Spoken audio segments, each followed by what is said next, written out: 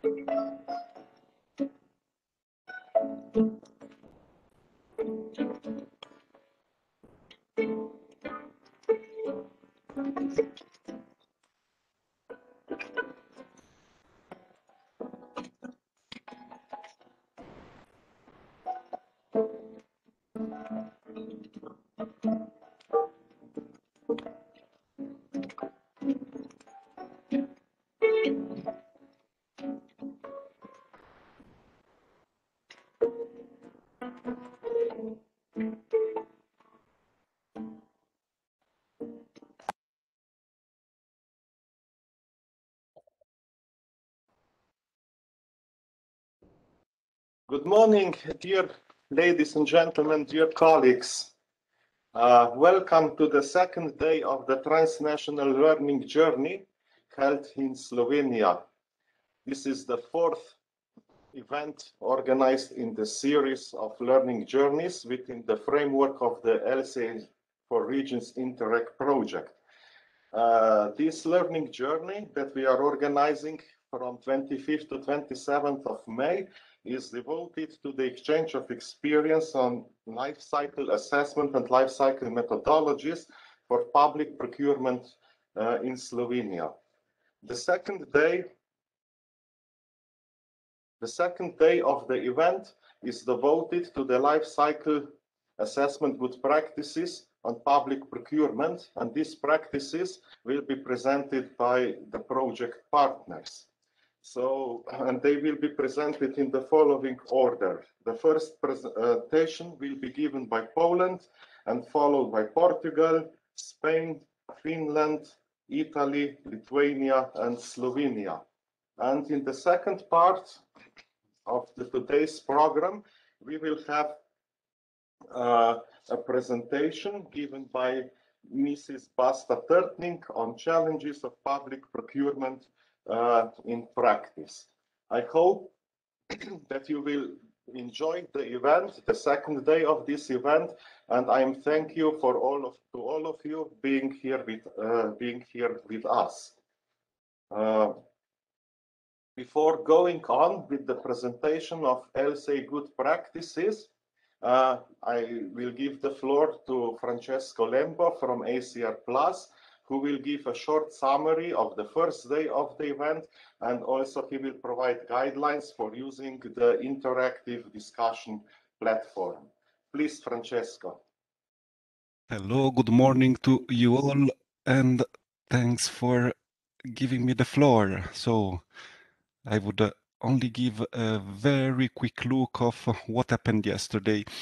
Uh, uh, we uh, during the debriefing part we uh, already tried to summarize what uh, uh, which were the most relevant comments and the first lesson we learned is that today we will try to merge also the comments we received in the chat box because they will for sure enrich the discussion we had uh, through the live boards.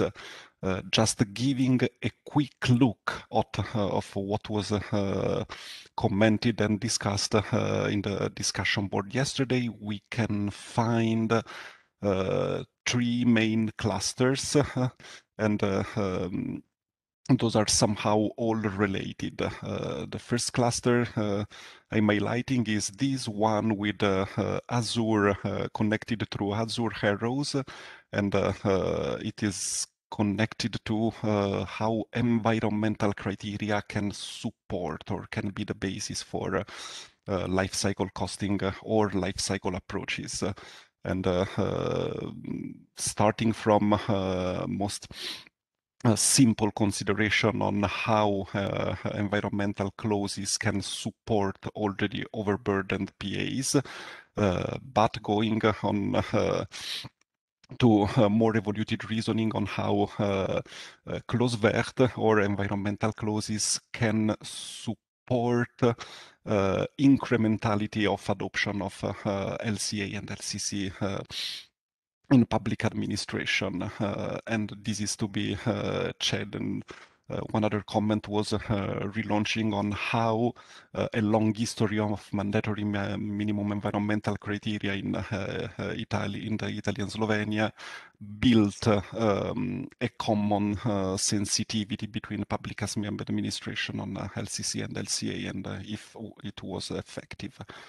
Uh, a second cluster, strongly interconnected to the third one, is very much connected to stakeholders' engagement and the tools to foster stakeholder engagement and the training and raising awareness through help desk and recommendation was highly highlighted together uh, with the involvement of independent experts in the to initiate LCC processes uh, and to push uh, market needs to uh, more green and more um, evoluted uh, potential future needs. A light connection is uh, about this between stakeholders engagement and the need to build economies of scale and uh, stronger engagement of different stakeholders and having incremental processes to spread uh, um, life cycle approaches in public procurement. Uh, I think this is the key recap of what was discussed yesterday. I strongly suggest also today to uh, put your comments in the uh, discussion board where relevant because they allow us to move them around and they are more dynamic than in the chat board, even if they are in the uh, posed as questions, they might work to uh, to help us uh, keep ahead of the discussion. I'm sharing in the link today's um, the, the link to today's board, which is this one. Sorry, now I have to. Yes.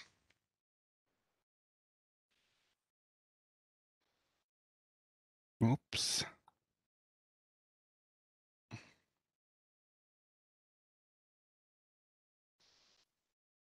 So uh, please, you are welcome and uh, let's start the discussion. We will, uh, uh, I will try to intervene during the question and answer session or the final debriefing session when relevant comments are coming uh, through the discussion boards. Thanks, Albin. Thank you very much, Francesca. So now it's time to move to the presentation of uh, ALCA uh, good practices.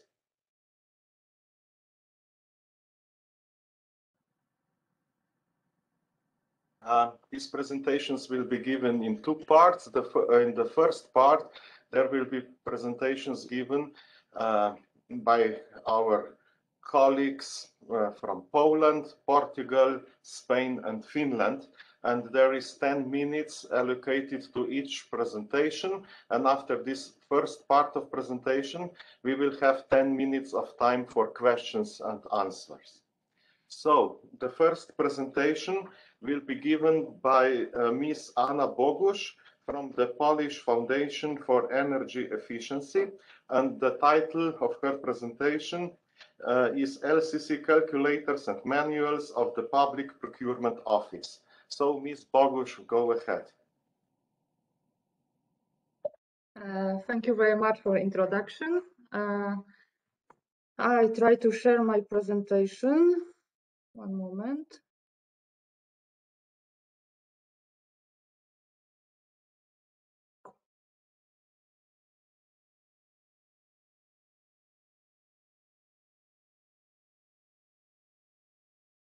I hope it's working. Can you see my presentation? Yes, all it's fine. Yes, we can. Okay, thank you. Uh, first of all, I thank the Marshall Office for the invitation on this meeting. My name is Anna Bogusz. I have been working on the Polish Foundation for Energy Efficiency. I'm the project manager and I manage of educational EU projects. Uh, these projects um, address energy efficiency, particularly the eco-design area, labeling, energy efficient appliances, and LCC analysis. Uh, today I will give a presentation, uh, active support of the contracting authority by the Public Procurement Office through LCC calculators and training manuals.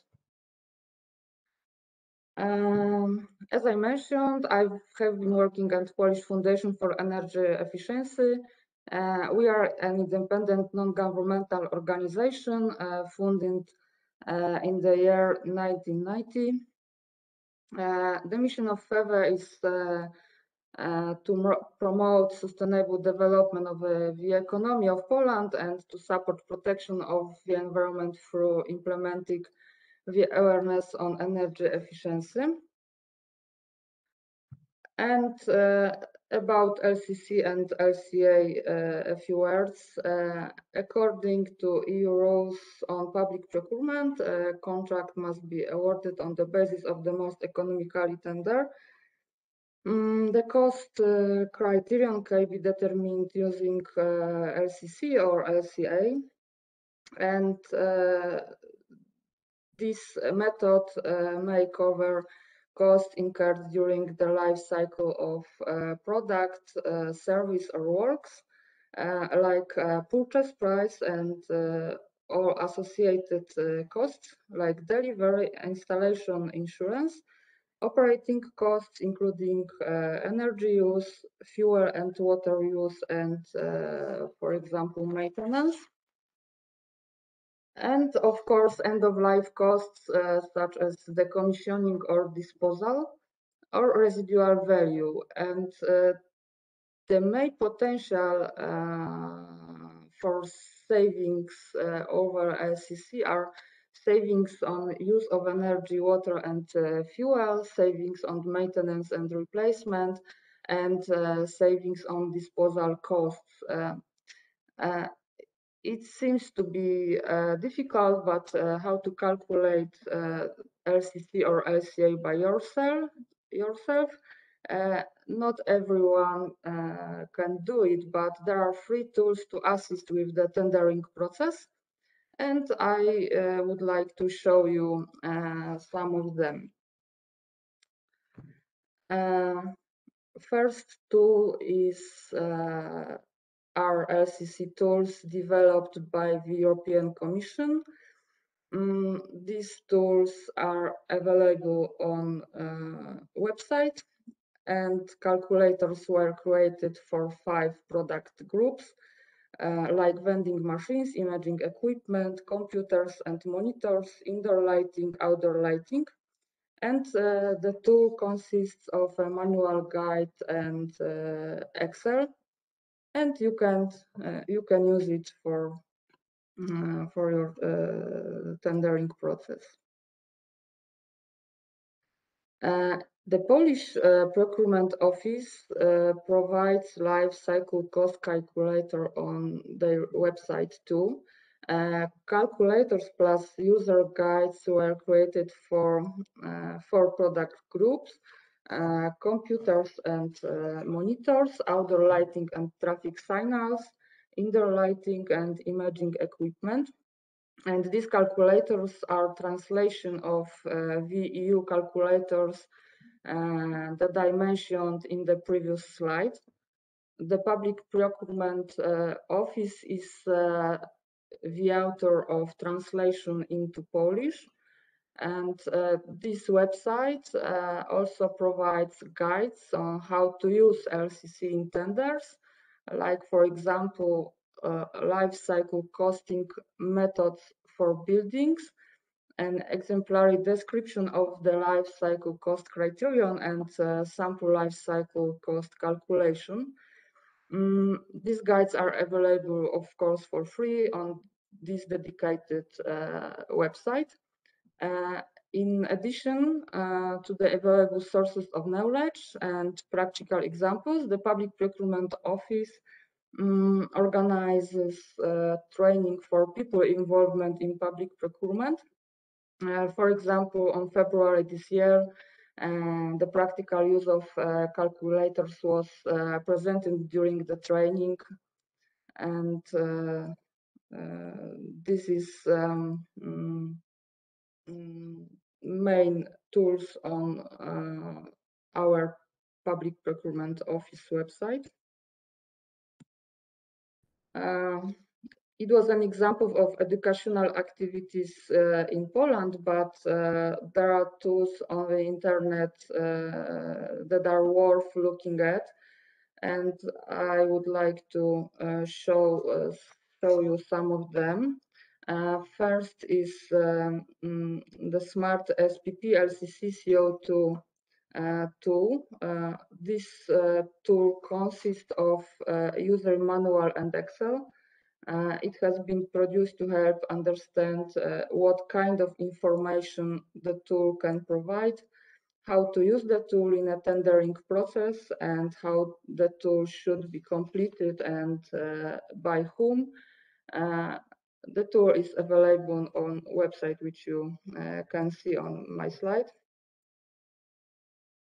Uh, the next, the next tool is uh, clean fleets. Um, this tool supporting public authorities in implementing clean vehicle procurement according to the Clean Vehicle Directive. Guide, training package, and case uh, study uh, studies are available on this website, as you can see. The next uh, tool is uh, LCC calculator developed uh, by Harvard University. Uh, this calculator was designed to support decision makers um, on Harvard in considering our present and future costs related to new construction, renovation, equipment replacement. Mm, and the last uh, tool uh, which I want to show you is um, LCA uh, Planetary. It's, uh, this tool is available globally. And this tool gives an overview of embodied carbon impact, impacts on and material efficiency of building designs. And this tool gives access to anonymized statistical carbon heroes uh, benchmark profiles as well as uh, policy templates, trainings, and uh, support uh, resources. thank you much for thank you very much for your attention. I hope you got interested in the tools to help you calculate uh, the LCC. Uh, if you have any questions, do not hesitate to contact me. Thank you very much. Uh, thank you very much for your interesting uh, presentation. Uh, as I said earlier, we will have uh, time for questions and answers at the end of the very first part of this presentation. So please stay uh, with us until, at least until the end of the Okay. very first part. Okay, thank you. Thank you. So,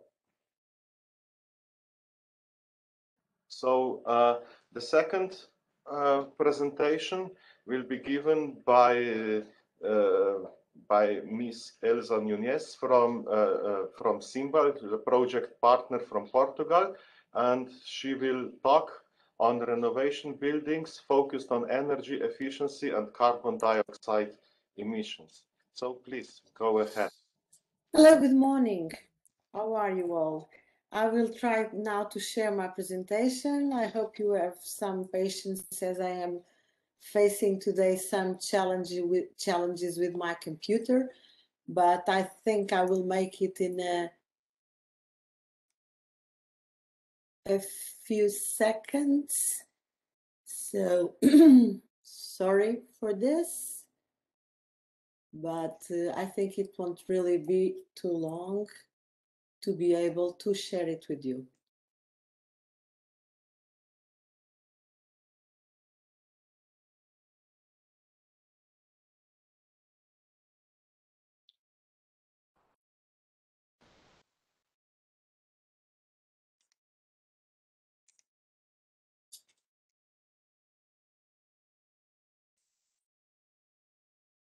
Um, can you please confirm if you are uh, able to see my presentation?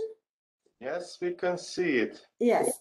So, um, what I was, what I'm going to um share with you right now is uh, about how um, CIMBAL has been able to introduce sustainability criteria in public purchasing. Uh, for all of you that are not directly involved in the project, CIMBAL is a, a an association of municipalities in uh, one uh, Portuguese re region that is Baixo Alentejo. Baixo Alentejo is a region, uh, is a very nice region in Portugal with wonderful landscapes and um, with low density, small municipalities. And so um, trying to bring sustainability into public purchasing is specifically a challenge and is very important in what regards uh, CIMBAL's priorities.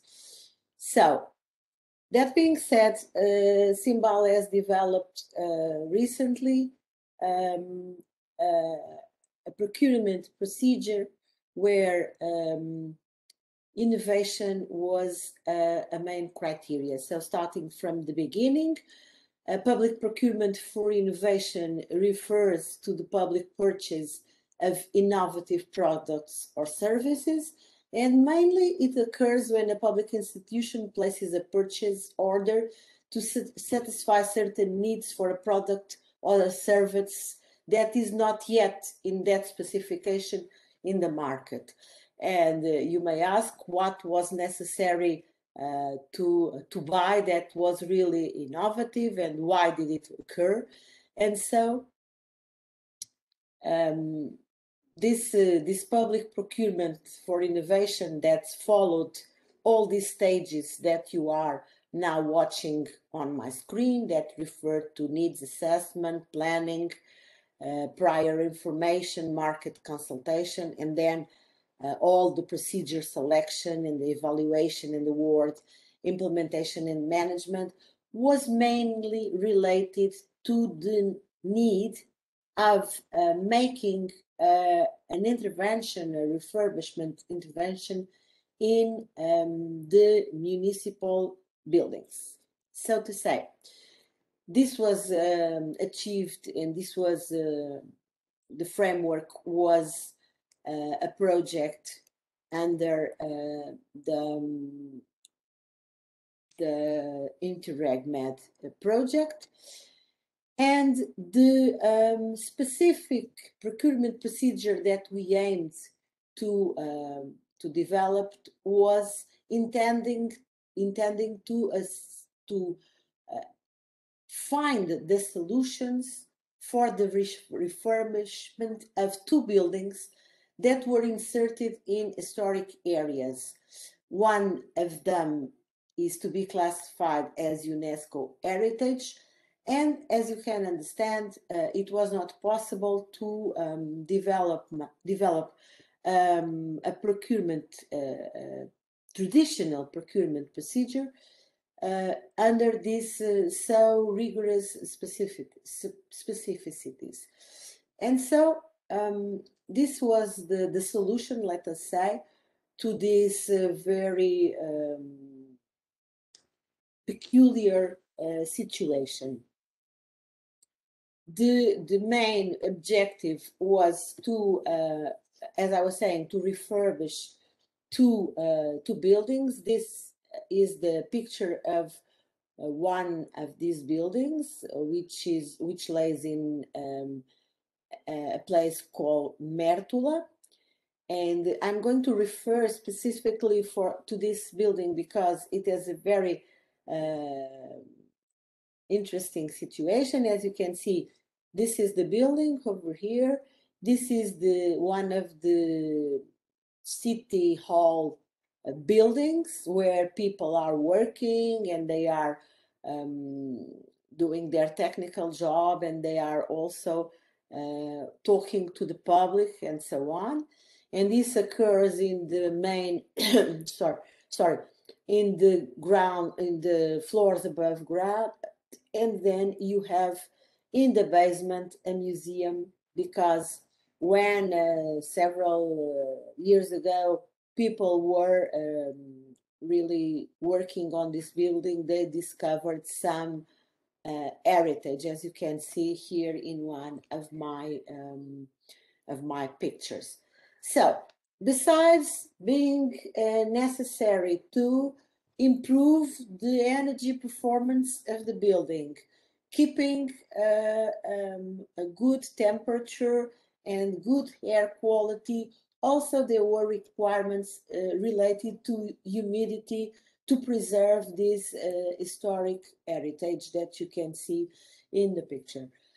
Um, and this building is inserted in uh, the historic center sorry, of Mértola, and it is to be classified as UNESCO heritage. So it was necessary to develop uh, a solution that could answer all these specificities and that could really ensure that energy efficiency was an issue and CO2 uh, reduction was an issue.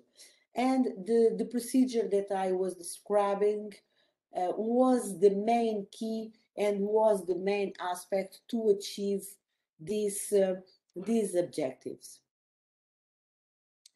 The key success factors to this uh, public uh, uh, procedure was that uh, it was based upon innovative, innovative award criteria and uh, the bidder's information uh, was uh, included in all the procurement procedure. Uh, greenhouse gas reduction in the context of this municipal buildings refurbishment was very relevant, was a, a, a very important criteria and also market engagement was successful. And so this work was delivered successfully. Also, in what regards key success factors, uh, the procurement procedure was based on technical uh, criteria, as I was describing, and price was valued only in 10%, and typically in these procurement procedures, the price is the main factor or is even sometimes the only factor.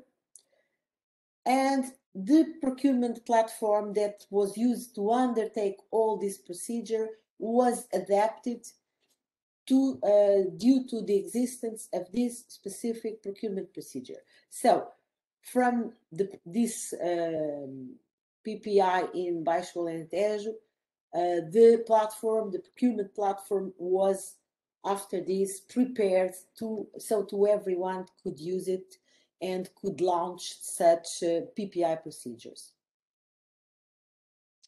the challenges that were faced and the transferability possibilities are now to be described. The major difficulties were related to the fact that in Portugal, and as part of the current national reform program, the promotion of a public procurement for innovation is still very recent and uh, mainly um, big companies or big uh, procurement procedures uh, are more, more uh, related to this uh, model, let us say. And so it was uh, somehow challenging to set the grounds and to start with this type of procedure.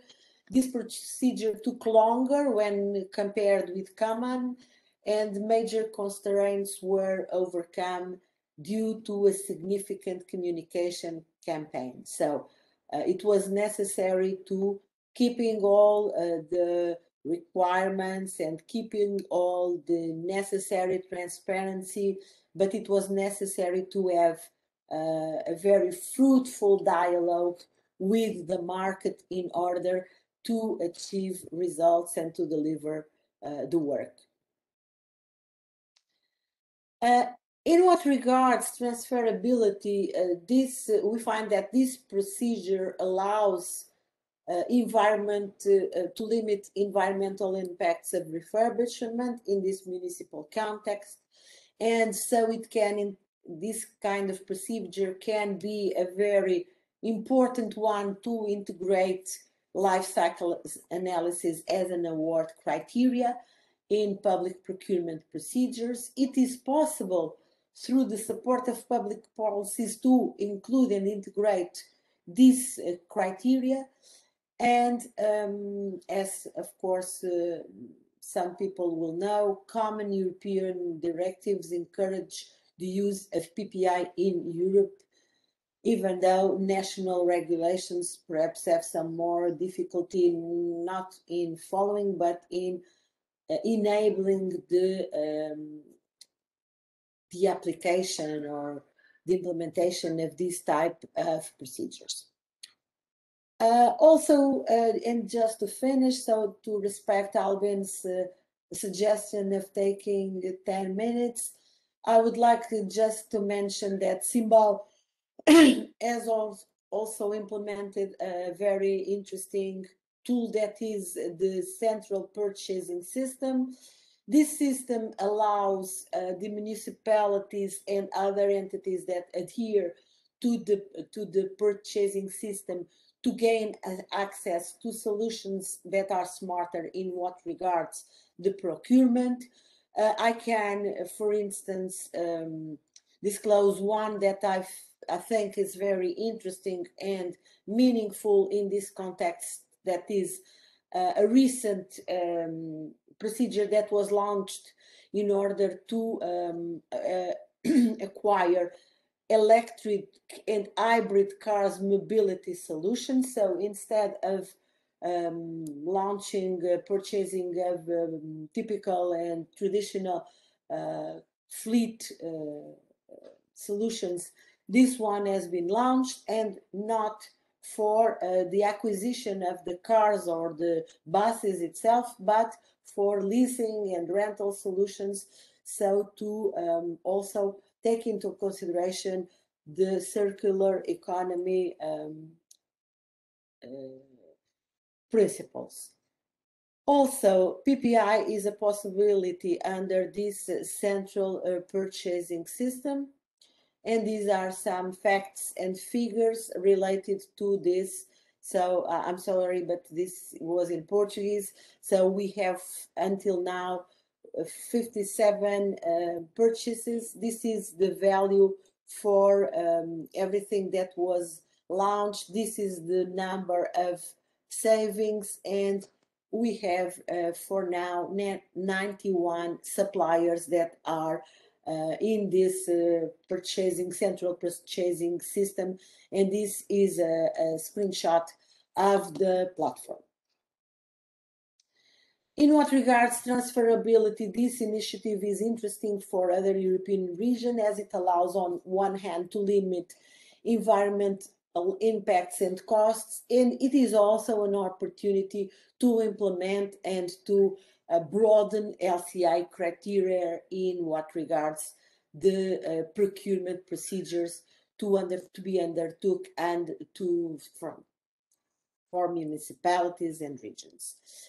This is a place where you can uh, find more information. I will be gladly answering any of your questions whenever um, you uh, have someone to uh, share with us. So thank you for this, and I leave the ground to Albin. Okay, thank you very much, Elsa, for your presentation. Uh, we will now move uh, to the next presentation, which will be given by Sandra Hurtado from the government of Navarre in Spain. And she will be talking on about the purchase of canteen food. So please go ahead.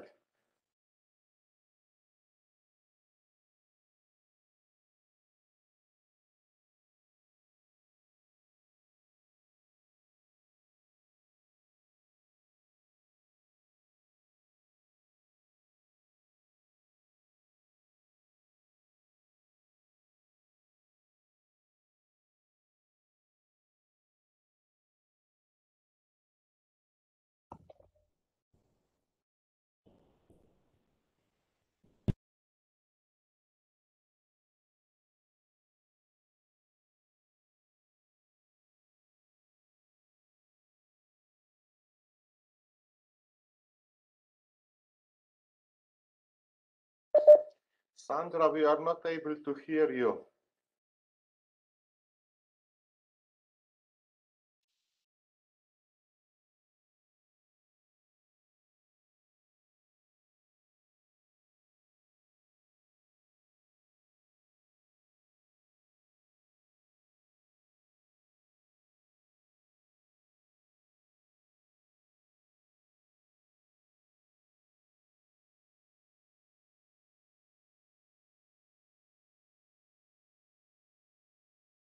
Unmute me.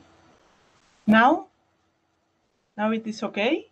Now it is Yes, okay. it is Yes. okay. Hey, sorry, sorry for the inconvenience. And, and can you see my screen? Yes. Yes. But the screen is not seen. Now it is seen. Okay, perfect. So I'm going to put the full screen presentation. Okay. Okay. So thank you, Albin, and sorry for, for this mistake. And good morning to, to all of you. So the owner of this initiative is the public entity that manages the Municipal Nursery School of Pamplona. Uh, today they cannot attend the event, so I'm going to do my best and I'm going to share with you their experience on behalf of them. Uh, this tender is under the CPV Meal Supply Service and specifically a two-year service requesting the supply of logistic of fresh, organic, seasonal and local food, as well as the reception, storage and transport to the nursery canteens. The service is to supply 10 nursery schools that have their own kitchen with cooks who are public workers. Every day they need to prepare 2022 menus for zero to three years old children, mid morning snack and the lunch, plus the lunch for the workers. Uh, later on, this presentation will be shared, and in this link you can find the tender specification, but it is in Spanish.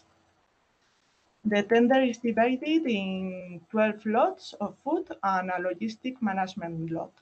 So the, the food is uh, veal, chicken, egg, fish, yogurt, vegetables, cereals and legumes, pasta, bread, oil, tomato preserves, and various food. Um, there are compulsory food criteria depending on the lot. Almost all of them have to be at least 50% uh, of the supply from organic production and 100% uh, fresh, uh, unprocessed, GMO-free, and not frozen. Uh, now I'm going to describe the sustainable award criteria.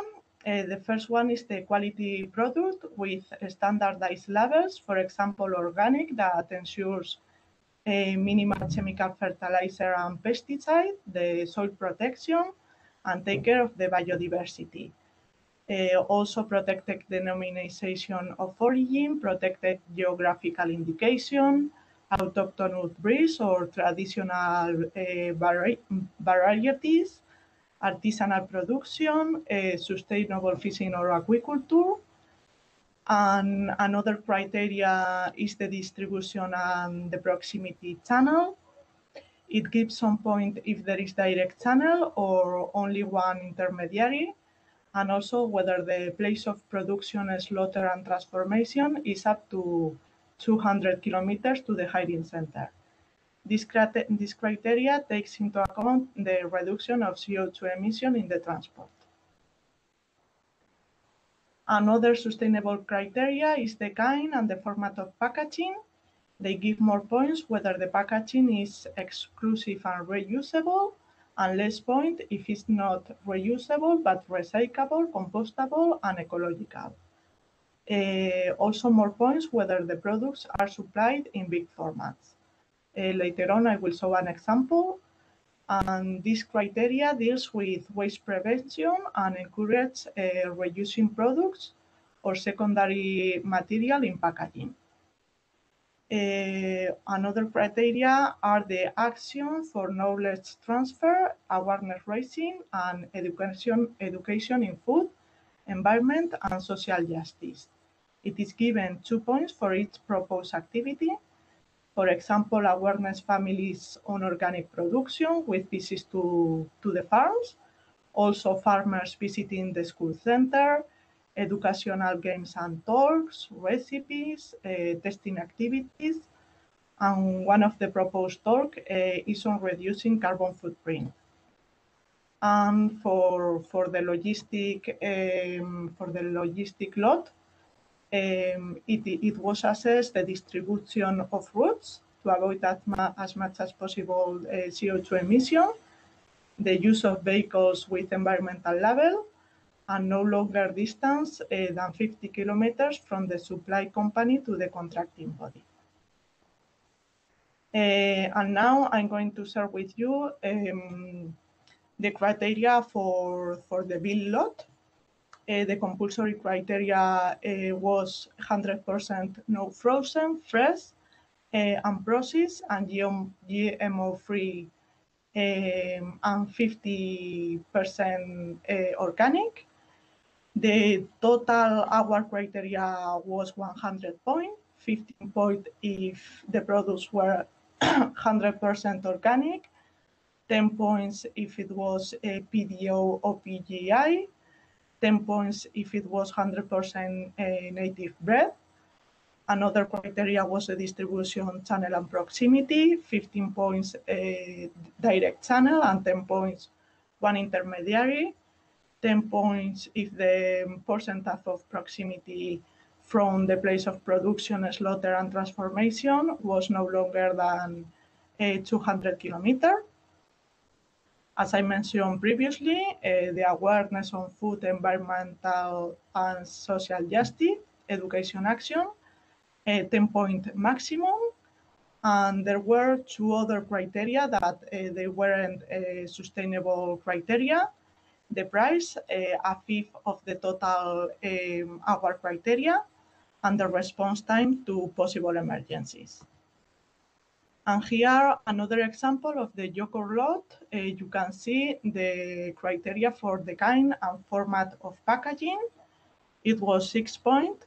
If it was exclusive and reusable, three points. If it was not reusable but recyclable, compostable, and ecological, four points if the packaging was five liters, and two points if it was between one and two liter packaging.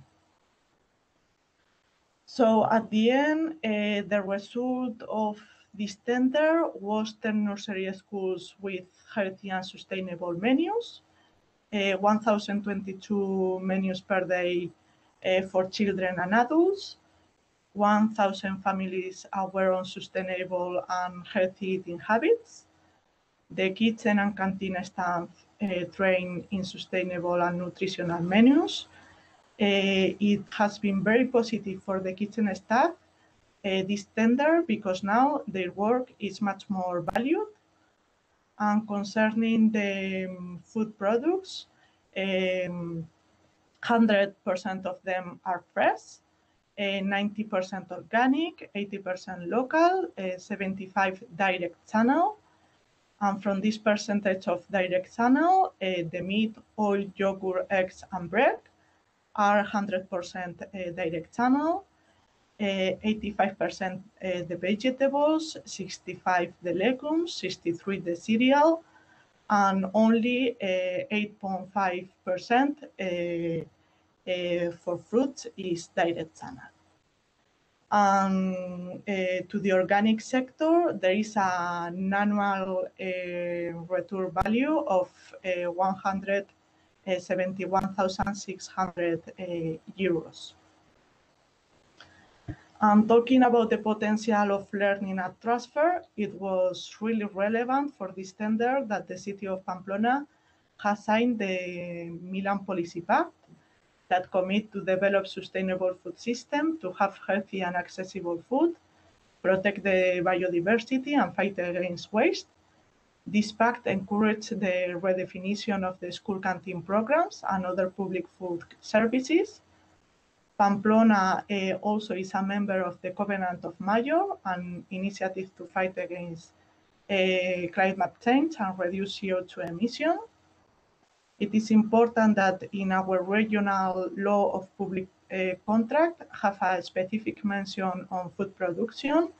As you can read, uh, the contracting authorities must incorporate aspects that require or prioritize their quality related to health and nutrition, ecological or organic character, food uh, sovereignty and security, taking into account the life cycle of products, or minimization of emission and raw material in transport and packaging, uh, where it is mentioned all the criteria included in this tender to take into account the environmental aspect. Uh, previous to this tender, it was carried out a pilot in two of these nursery schools with the involvement of families, nursery staff, nutritionists, the organic primary sector, the Public Institute of Agri-Food, and the Council of Organic Agricultural Production in Navarra. And the engagement of all of these stakeholders was a key development, uh, a key part to develop this, this tender. And to finalize with my presentation, uh, this tender has been the first one that included in Navarra so many environmental criteria regarding to food. This year, the government of Navarra have launched a similar tender for, the, for other 42 schools canteens, but still there is a potential to spread, to expand this kind of tender to other public bodies such as university, nursery homes, hospital, offices, penitentiaries. So we need to, to carry on. And that's all. Thank you for for listening the presentation. Uh, I am available for for question uh, later on and I will share this presentation with my email just in case you want to ask any question after, after the event. Thank you very much, Sandra, for your presentation. Uh, we will be able to ask you questions after the final presentation is very first part of presentations of LCA good practices.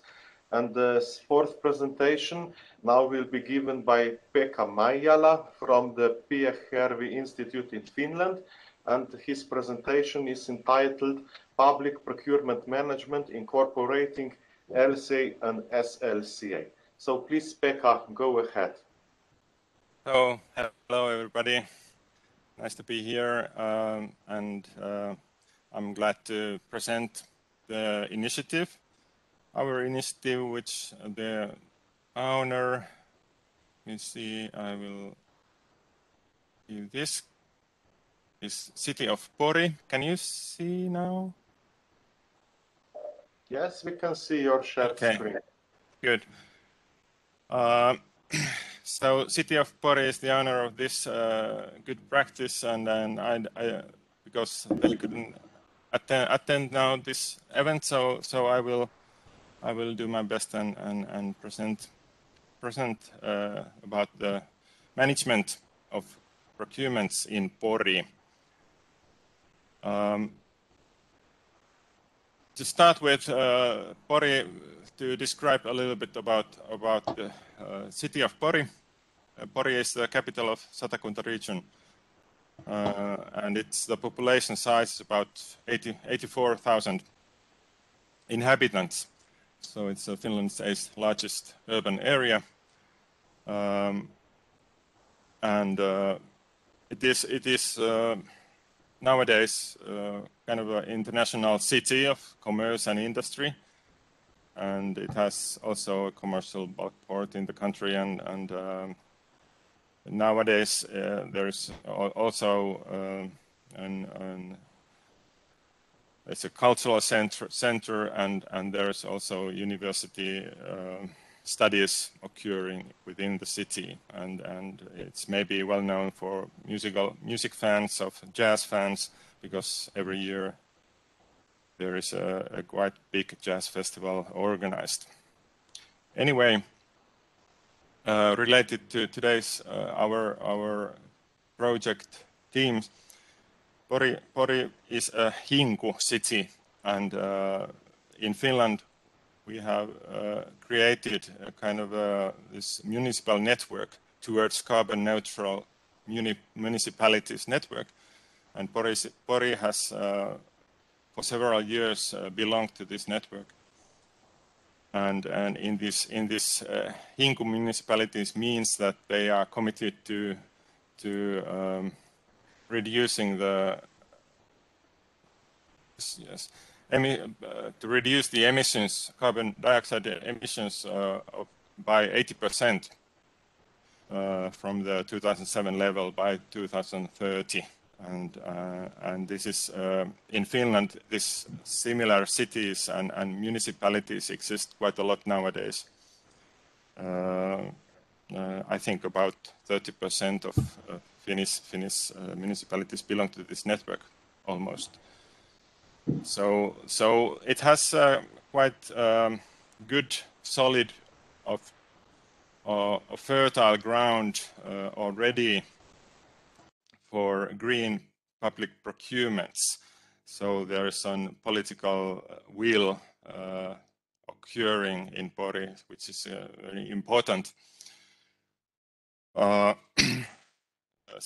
already several years ago for clarification of procurement management and general view of procurement system of city of Pori. So uh, Pori wanted uh, kind of procurement policy outline to be updated and, and to be developed. And it was it was finished 2019. Now this uh, this figure which you see see below is, is, is difficult to understand, of course. not not because it's uh, not less because it's in Finnish, but uh, there is several several aspects in this uh, procurement policy outline, and and now which is important here is the the the so societal uh, impact, especially, which is uh, defined here, and and it it it will it includes uh, environmental responsibility and resource efficiency uh, you see in, in, in, in this, this part of this figure. And there is also social responsibility, uh, industrial, uh, industrial policy, and, and prevention of, of the black uh, economy. So these, these, these aspects are especially now uh, in, in, the, in the focus in this initiative. Um, to, to, give you an overview about the size of procurements in the city of Pori, uh, the management system involves operative expertise unit, which analyzes and observes the effect of procurements, uh, which in Pori, city of Pori is about uh, 350 million euros. And if we if we would like to calculate how how the this procurements amount is is related to environmental uh, climate effect. So we can calculate the carbon footprint. Uh, it, it's evaluated for year 2018 by a tool Hankintapulssi, which is, is uh, would translate as an acquisition tool that has, has been used to calculate calculate this amount of 140 million uh, carbon dioxide equivalents uh, uh, in kilograms. So that's to give you some sort of uh, idea uh, about the size of procurements. And uh, now uh, this initiative, the goal here is to, to now when we have these outlines, to functionalize uh, the, the procurements which were outlined in the in the in the 2019 and and and City of Pori uh, created uh, or formulated a cross-organizational working group in order to to help uh, to to control and to manage the procurement uh, different uh, procurement categories, and they participated uh, in this kind of platform, Keino Academy uh, platform that helped uh, uh Pori uh, administration persons uh, in in creation of more sustainable what what would be the sustainability criteria and, and what how how how to how to implement them. Keino Academies was important, and I'm not going to present uh, in details about Keino system because you will um, there there will be uh, another presentation tomorrow about the Keino Academy. But Pori uh, Pori was involved in that, and uh, and and uh, it was very it was very useful.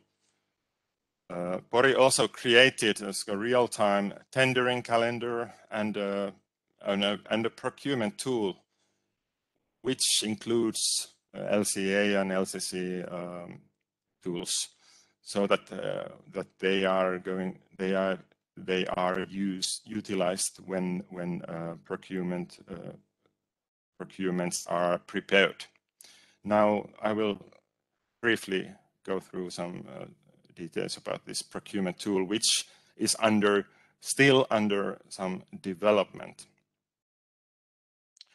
But basically, what are available for City of Pori administrative persons and, and those uh, personals who, who make the procurements, there is uh, in, in, Finland Motiva uh, that LCC has uh, on their web pages uh, LCC tools, and and and they can they are utilized. They are Excel format tools, and, and at the moment they are, but only very few uh, product groups. There is a general tool, and there is another one for cars, and, and third one for freezers and refrigerators, and, and, and still another one for washing machines. So it's, it's pretty uh, straightforward to use when, when, when this type of uh, equipment is going to be purchased. Then there is a Valtti tool, which is, is, is, is meant for comparison of the lifespan's cost of the lightning acquisition. Uh, so, uh, so there, when the, when you, you when municipality needs to needs to find calculate, then then when there's some information, uh, preliminary price information available, about the product, but but then other other things are not so not so clear. So this tool helps to to to analyze other costs. The procurement tool is built to guide the producer to um, to more sustainable procurements, and it it it it, it requires the the procure, procurer to think about sustainability and and it's created in WordPress format, uh, and it's divided into eight different themes. Uh, you can see here it's carbon neutrality, promotion of circular economy, ecological sustainability, environmental certificates, eco labels, and this type of things. Uh, there's innovative purchases, services instead of products, maybe. Promotion of social responsibility is one of them, uh, rejection of the black economy, and, and uh, the eighth one is industrial policy and market dialogue. So uh, the, the, the procurer may select these first, and what, what uh, is important for this purchase. And then there are subcategories, uh, and, and, and there uh, is then different kinds of criteria that procurer may select.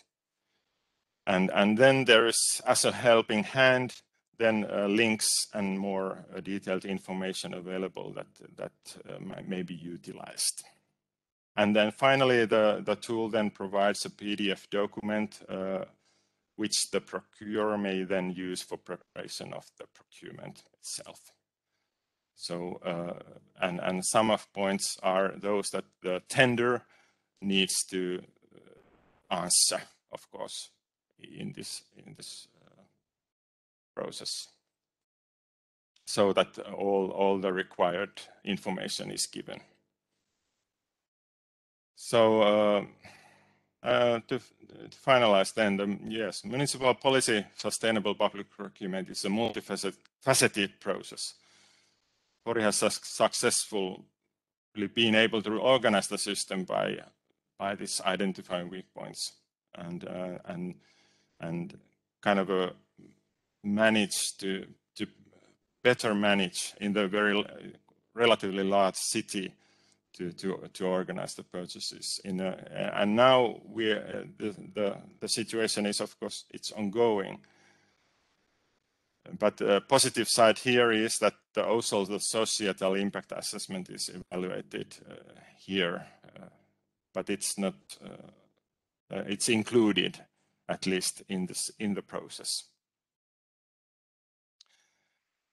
Uh, thereof, of course, this is because this is an ongoing process. So uh, and, and especially what is, is, noticed is that the dissemination of information and, and, and dissemination of uh, the focus point, strategic focus points in the sustainable um, procurement, uh, all these outlines, it's, it's been challenging, and, and but it's very important so that we they, they all they have noted that so that everybody is, is, is speaking the same language. So, uh, so cooperation is important and it's still, it, it should be, should be more further developed.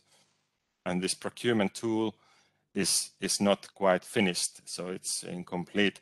Unfortunately, I'm not able to show the the format itself it's not because it's not uh, complete and i was not able to to show uh, how it looks like at the moment but it's it will be free of charge uh, so there's a it's a it's a continuous process and uh,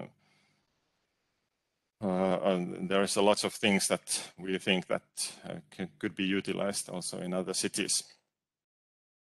Uh, and and the, the help of Keino Academy has been very valuable here.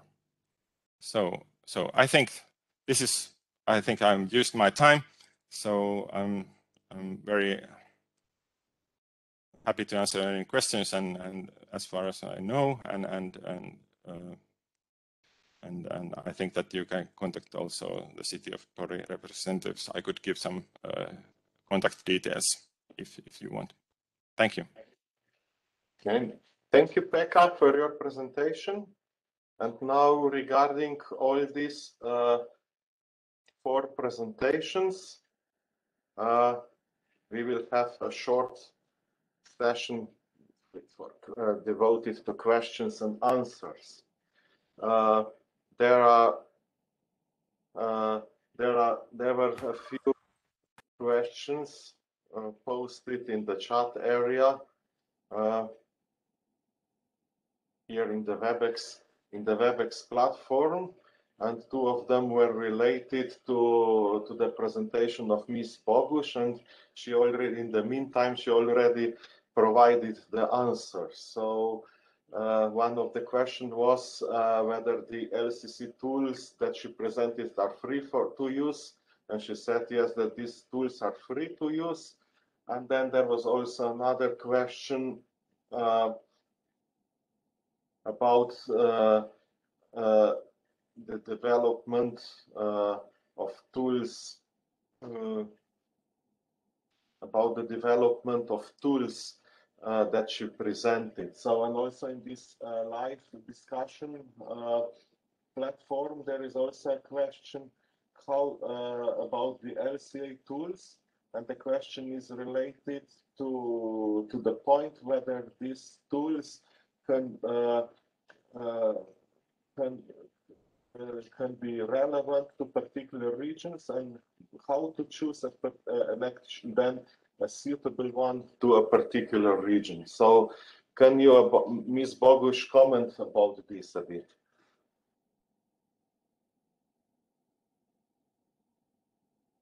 Mm. Uh, yes, uh, I didn't uh, use this tool, but I showed uh, uh, what tools are available on internet. Um, I think that uh, one of tools which I presented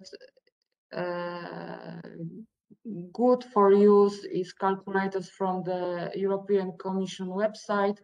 It's available in English language, so I think that uh, you uh, you can use it uh, in your tendering process and uh, there is available manual and Excel, so I think that it's easy to use.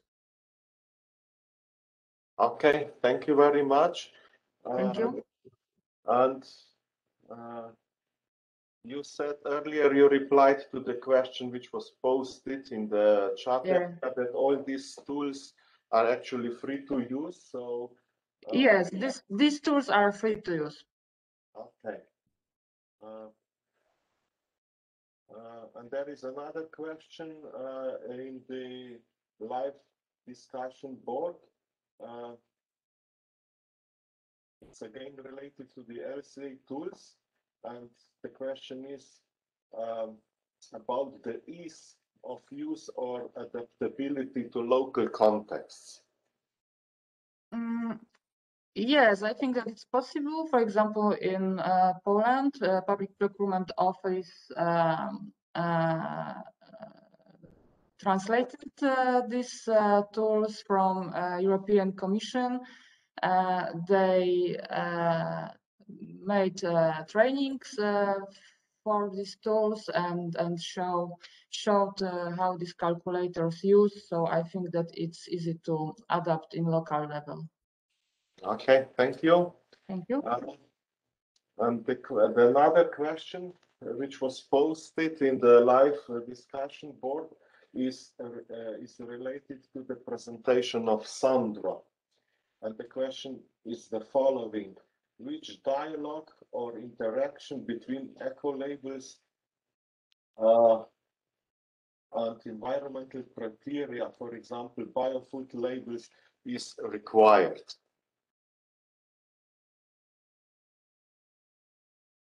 Uh, so it, it, uh, it is uh, a European regulation for organic uh, food and there is a, a label that here I can post the, the link. So all products in Europe that are organic have to wear this, this label on, on the packaging. Um, and also there are other labels that it was used in in the tender as the protected uh, denomi uh, denomination of origin or geographical indication. And also for the fees, it was the, the eco label of sustainable fishing. That is also a standardized uh, certification. Okay, thank you. And there is one more question for you uh, that was posted in the chat area by Adam. And he says the following Spain is a big European food exporter. Does biofood have an eco labeling system in this regard?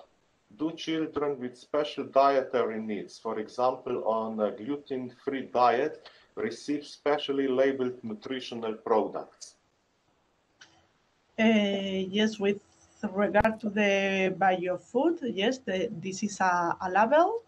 Uh, is is a green a green double with the with a leaf with the European stars. And, and regarding the special uh, dietary, uh, I know that some products have a label of gluten free, but I think that with in this case um, the professionals the the staff of the kitchen um, and the professional of the canteen uh, need to be aware of the situation of of the children and and I know that in in in this tender they try to avoid the um, uh, as much as possible the products that uh, have conflict with with allergies and these kind of things. Okay, thank you very much for your answer. So uh, we are a bit behind the schedule, so now we will move to the second part of presentations of LCA good practices on public procurement. And in this second part, we will have three presentations coming from Italy, uh, Lithuania and Slovenia. And the first presentation, which is entitled uh, Expo Focused on Sustainable Purchase, will be given by Alessandro Dacomo, Giorgio Bonvicini, and Monica Lavagna. So Alessandro and his colleagues, please go yeah. ahead with the presentation. Thank you. Can you hear me? Y yes, we can hear you. Uh, very good pronunciation of course, of the Italian. Uh, Thank you. Just a moment. Okay. You should you should see the presentation. Uh, uh, okay. Let's see your presentation. Thank you. Good morning, everybody. My name is Alessandro Dacomo. Um, I'm a policy officer at uh, Lombardy region Directorate Environment and Climate, and I represent the Lombardy region uh, in the LCA for Regions project. We are going to propose to you a free voices presentation in order to be more effective and to give you uh, more precise information. And I will give you just a quick introduction, and then I will leave the floor to Giorgio Bonvicini, uh, from Rina Consulting, which is our technical assistance in the project. And then I will uh, leave the floor to Monica Lavagna from the Politecnico di Milano, which is one of the stakeholders taking part in our stakeholder group. The good practice uh, we are going to present to you is the experience we learned during the, thanks to the Expo, uh, the exhibition, the Universal Exhibition 2015, and it, we could also say that it, this good practice is the Expo legacy we have, uh, we gained during that period.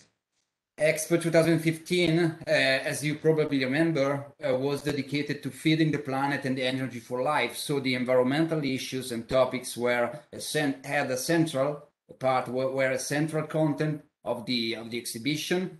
Uh, the the exhibition was a big investment and a big challenge because of course the management and the organization of the, the whole event was complex and also the evalu- and also the evaluation the impact assessment of the of the exhibition it was also a big trigger because several initiatives started at that time and are still uh, ongoing now very successfully uh, for example the, the milano food policy uh, quoted also by by sandro before and then was a big lab for sustainability practices in the whole life cycle of the event. And this specifically on these uh, um, sustainability practices that we focused our attention in the uh, in the drawing up of the good practice. Uh, these good these uh, mm, practices were uh, mainly in, on four pillars. the first one was efficient temporary buildings. The second one, green procurement criteria for the exhibition. The third one, materials used aimed at reducing waste production. And the fourth one was uh, uh, concerned uh, other initiative uh, for more sustainable events, such as the certification schemes or communication uh, to support sustainable development.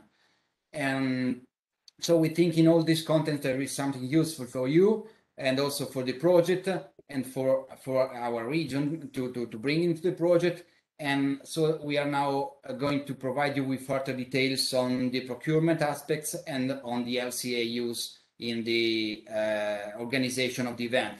Uh, you can find further information at this website with all the publication of that uh, of that works, uh, those works. And now I leave the floor to Giorgio for a first focus on a on the procurement issues.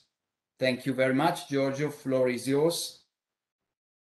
Yes, thank you, Alessandro, and nice to meet uh, you all. My name is Giorgio Bonvicini, and I am from Rina Consulting, as mentioned by Alessandro. I will briefly present you a couple of topics. One related to the temporary buildings that were realized for the Expo 2015 in Milano, and one to the green procurement uh, practices, uh, guidelines that were developed and implemented.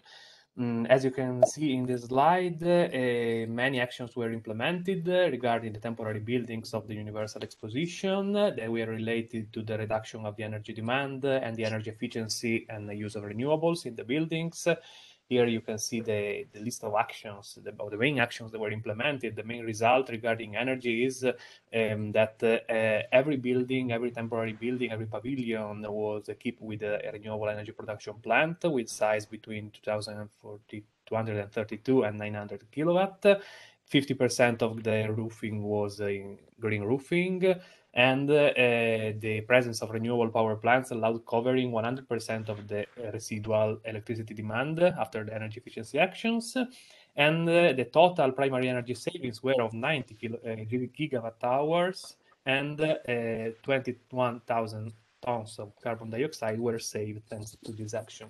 In addition, additional savings were obtained regarding water consumption, um, regarding waste production. 50% of uh, material for pavilion construction, foundation included, was recycled, and uh, overall, 67% of the waste generator generated at the expo were separately collected, and were appropriately recycled. And then to conclude, also the urban heat island effect was minimized and the local impacts on soil and air quality were minimized thanks to vegetation and to a large ecological reconstruction program in northwest Milano. Next slide, please, Alessandro. Thank you.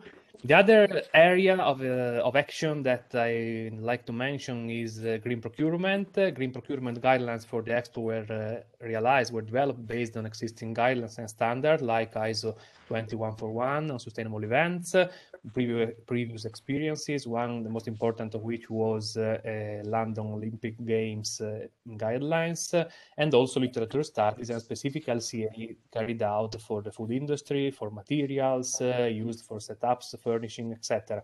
The approach outlined here in the in the slide where was adopted. So for dire, for partners of the expo, for sponsors and for dealers, the um, green procurement guidelines were mandatory while for uh, works carried out but by countries, by uh, the, the suppliers of partners, sponsors, or dealers, they were strongly recommended, but since they weren't under the direct control, so they were only a, a recommendation. Next slide, Alessandro, thank you. Here, this slide lists uh, the green procurement criteria that were adopted on uh, two main areas of action, one food and, food and beverage and one furniture. And the related environmental impacts that were uh, minimized thanks to the adoption of uh, these actions that are mainly related to the reduction of environmental impacts uh, related to energy consumption, to water consumption, reduction of waste, uh, the impact uh, on human health and the environment due to the use, for example, regarding food of pesticides, fertilizers, etc., and also the impacts on soil, so soil erosion, forest destruction, and loss of biodiversity. And uh, I leave here the list of uh, of actions and of environmental impacts mitigated for reference. And for more, for additional references, there is this publication by the Italian Ministry of Environment that is available at the link that Alessandro mentioned. The Expo alert the legacy of uh, Expo 2015 regarding sustainability. Next slide, please, Alessandro, which is my last one. Uh, the potential for learning on transfer, uh, why we are proposing uh, this good practice. As Alessandro mentioned before, the idea is to create a good practice based on the Expo 2015 experience for future worldwide mega events like, again, Expo International Exhibition, Summer and Winter Olympic Games, large uh, major international sport events. We mean mega events, those having more than 1 million visitors expected, but also for uh, maybe uh, with lighter uh, solutions and uh, guidelines for smaller events, those having between 10,000 and 1 million visitors, concert, festival, exhibition, etc. And specifically, this is interesting because the sustainability criteria could be adopted for the green procurement um, and also for the tendering procedures adopted by public bodies for the organization of, of such events. Thank you. And I leave the floor to Monica Lavagna, Politecnico di Milano. Thank you. Thank you. Um, a special focus was uh, related to temporary buildings because uh, temporary buildings in mega events are the main impactful aspect. On the occasion of uh, Expo 2015, specific guidelines were developed for the LCA of temporary buildings and uh, organizational methods uh, for managing the end of life. Next slide, please. Thank you. Uh, this uh, methodological development activity was uh, part of an agreement uh, between Expo and the Italian Environmental Ministry with uh, the goal of the assessment of the carbon footprint of the event and the identification of uh, reduction and mitigation measures with the aim of uh, preparing steering documents and guidelines that could be also useful for other mega events at the international level. Uh, in particular, these documents were shared with the organizers of uh, Rio 2016 Olympic Games. Next, please. Uh, Politecnico di Milano was uh, the technical supporter in this framework for the temporary structures and developed three main documents, uh, the methodological guidelines for the application of the LCA in the specific case of temporary buildings for mega events, the guidelines for the reduction of impacts based on the application of the LCA to Expo case studies pavilions, and the management models for the end of life of temporary structures. Uh, these documents are available on the website uh, of the Italian uh, Environmental Ministry in the link uh, below. Next, please. Uh, the methodological LCA guidelines uh, define uh, assumptions for the first use during the event and for the second use after the event. For example, since the reference study period is longer than the service life of the temporary building, scenarios for the demolition and construction of an equivalent new building shall be developed if the use of the building for a second life is not foreseen. Next, please. Uh, the guidelines for reducing impacts were defined by evaluating some uh, end-of-life scenarios uh, of temporary buildings. In particular, were evaluated three scenarios, temporary function with the refunctionalization of the structure for a new use at the end of the event, temporary location, the, the disassembly and the reassembly of the entire structure at the end of the event, and temporary life with demolition at the end of the event and the waste treatment with or without a reuse recycle of the building parts. Next, please. The LCA results highlight that the scenario with the lowest impact is the refunctionalization on site, while uh, relocation has more impact depending on the transport distance, and demolition with recycling of the components is the worst scenario. Moreover, also the analysis of the end-of-life management models highlights that relocation is always critical if the new use is not foreseen before. Next, please. Uh, therefore, from the LCA and, and uh, end-of-life management models uh, analysis, uh, guidelines were derived on how to reduce the impacts of temporary structures in mega events to, to be shared with, uh, with other organizers. Thank you.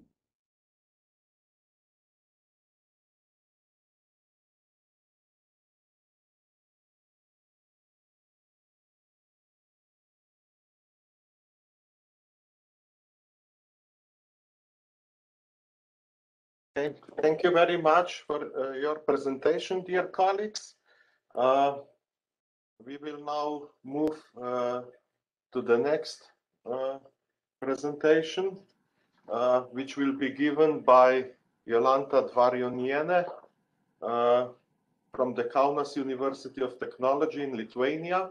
And her talk is entitled Suggestion to Explain Green Public Procurement in KTU Institution. So, Jolanta, please. Okay, thank you, Albin, for invitation. And um, now I'm trying to share my slides.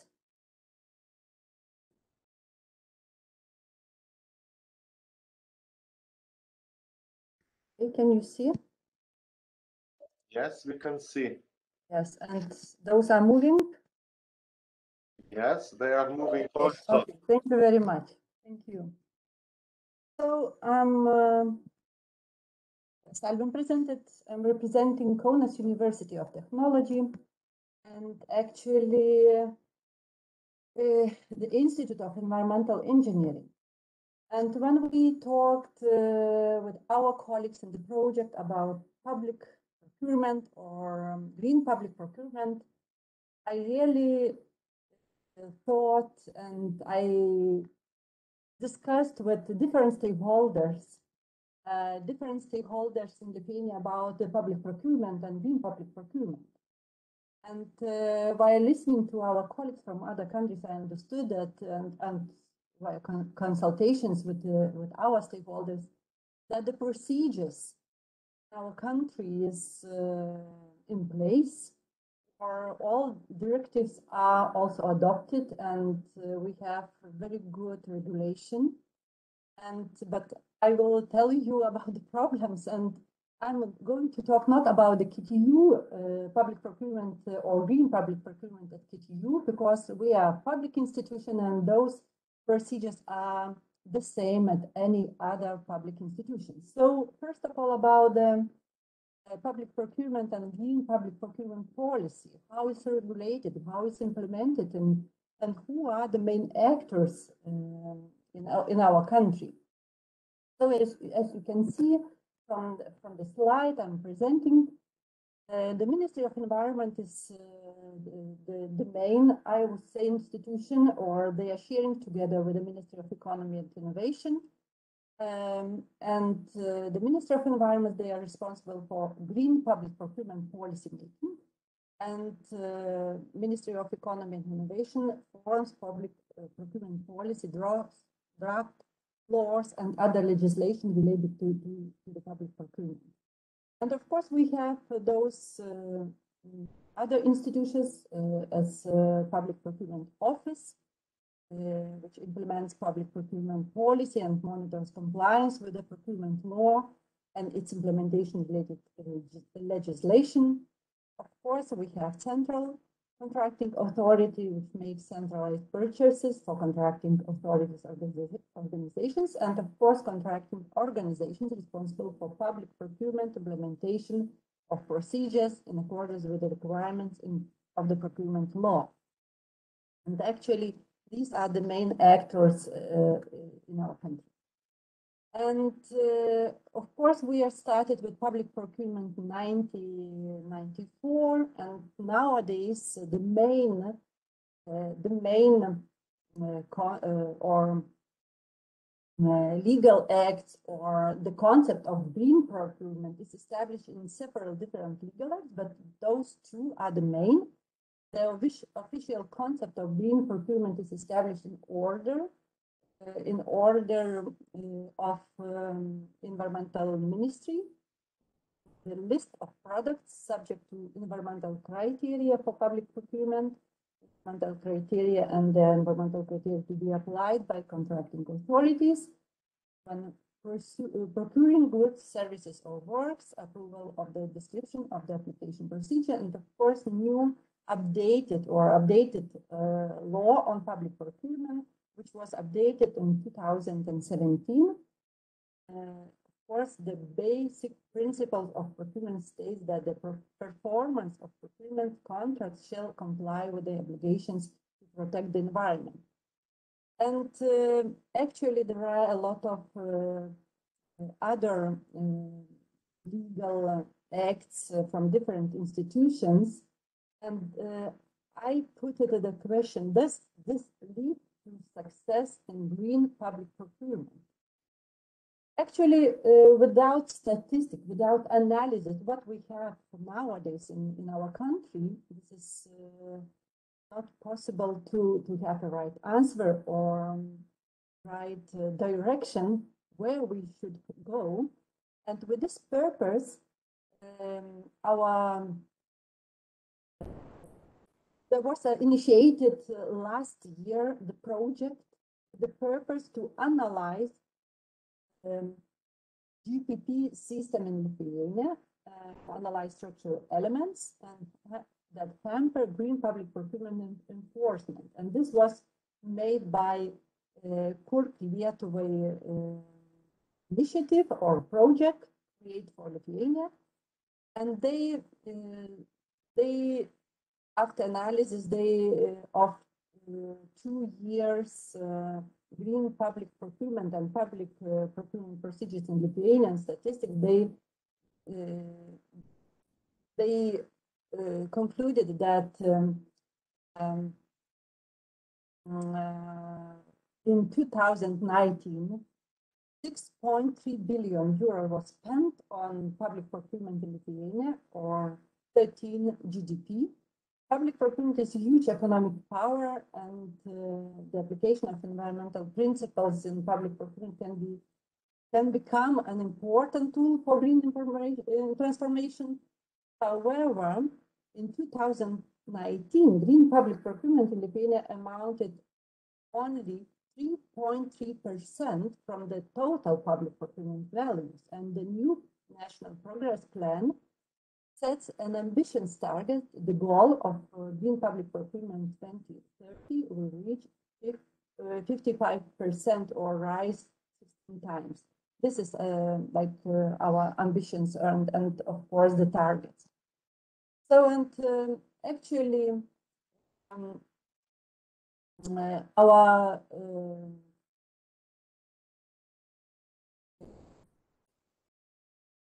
public procurement office, they do monitoring about the public procurement and, and especially on green public uh, procurement, and they report to European Commission as well. And they made for those three years, 2018, 19, and 20, um, uh, they have analyzed uh, the results of public procurement and green public procurement.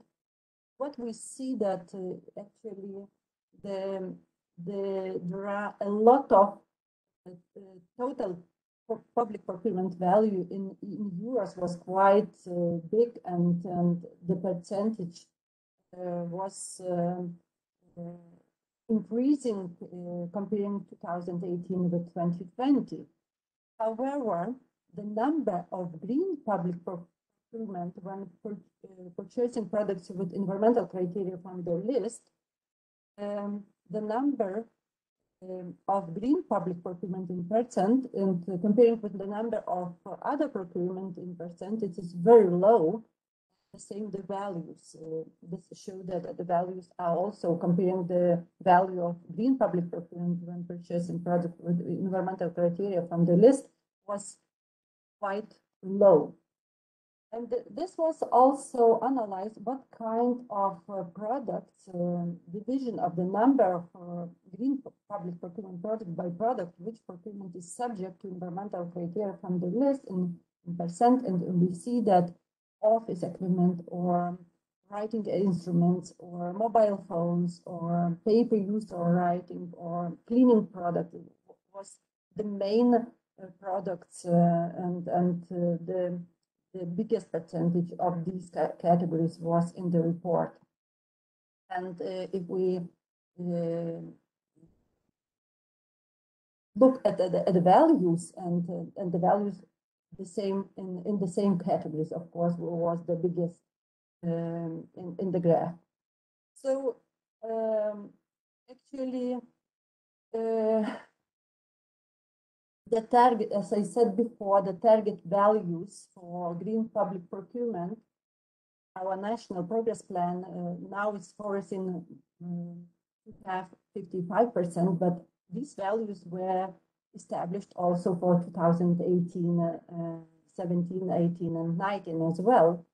Uh, was uh, the value was for 2017 45%, uh, and for 2019 was 50%.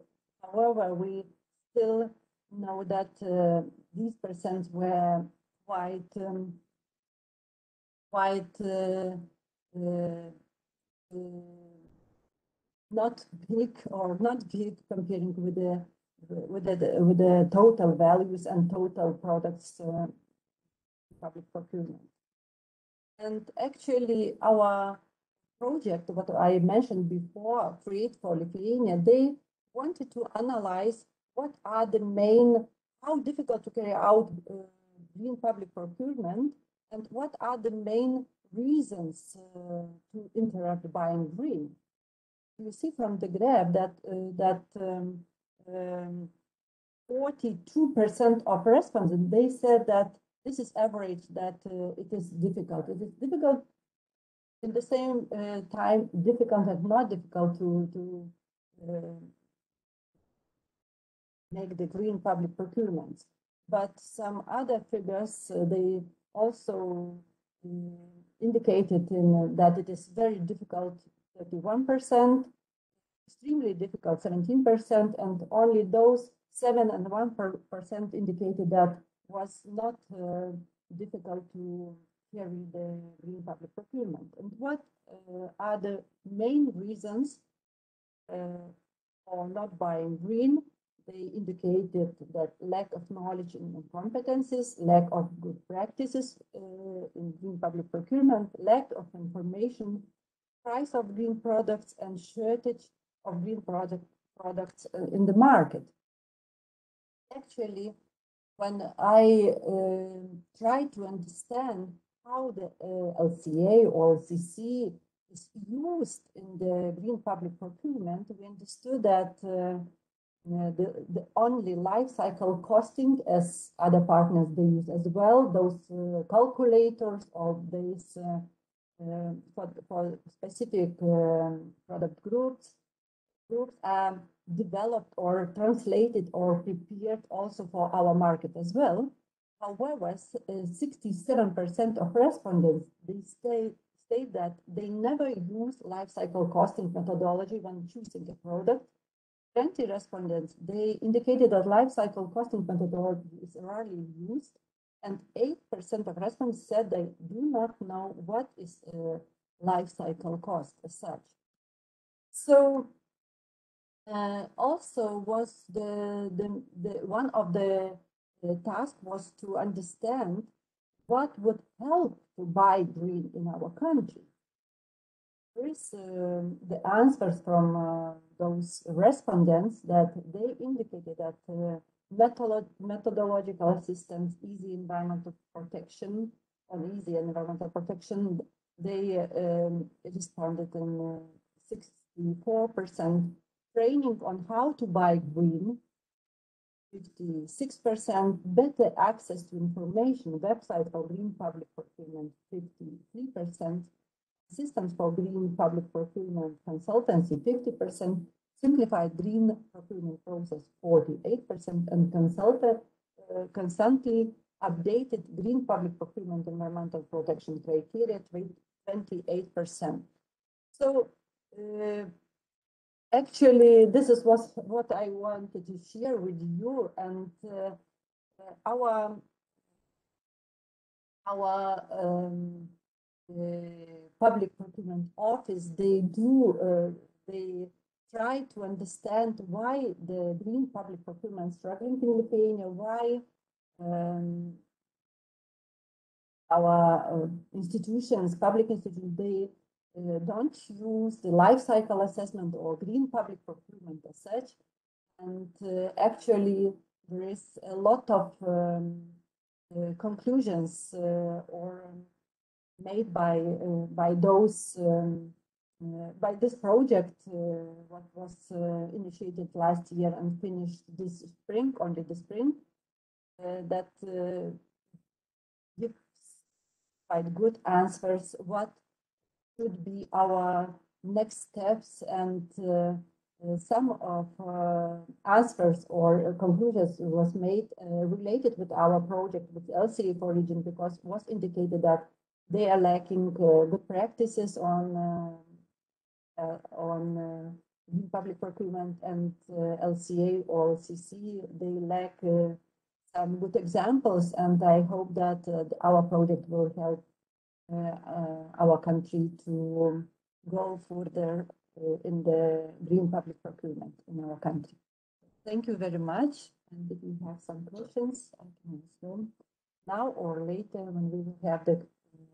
Okay, thank you very much, Jolanta, for your presentation. Uh, we will now move to the final talk, which, is, which comes from Slovenia. This uh, this contribution was prepared by my colleague Gregor Žerjav and myself, and I will be talking on green public procurement and LCC in practice, and the emphasis will be given to green vehicles.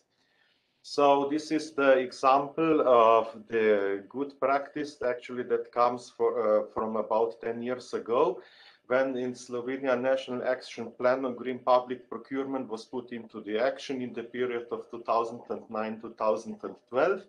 And at the time, the target was set that all that about 50% of all procurement um, by central government authorities in eight product products should include green public uh, procure, uh, procurement criteria and that this target should be made by the year of 2012.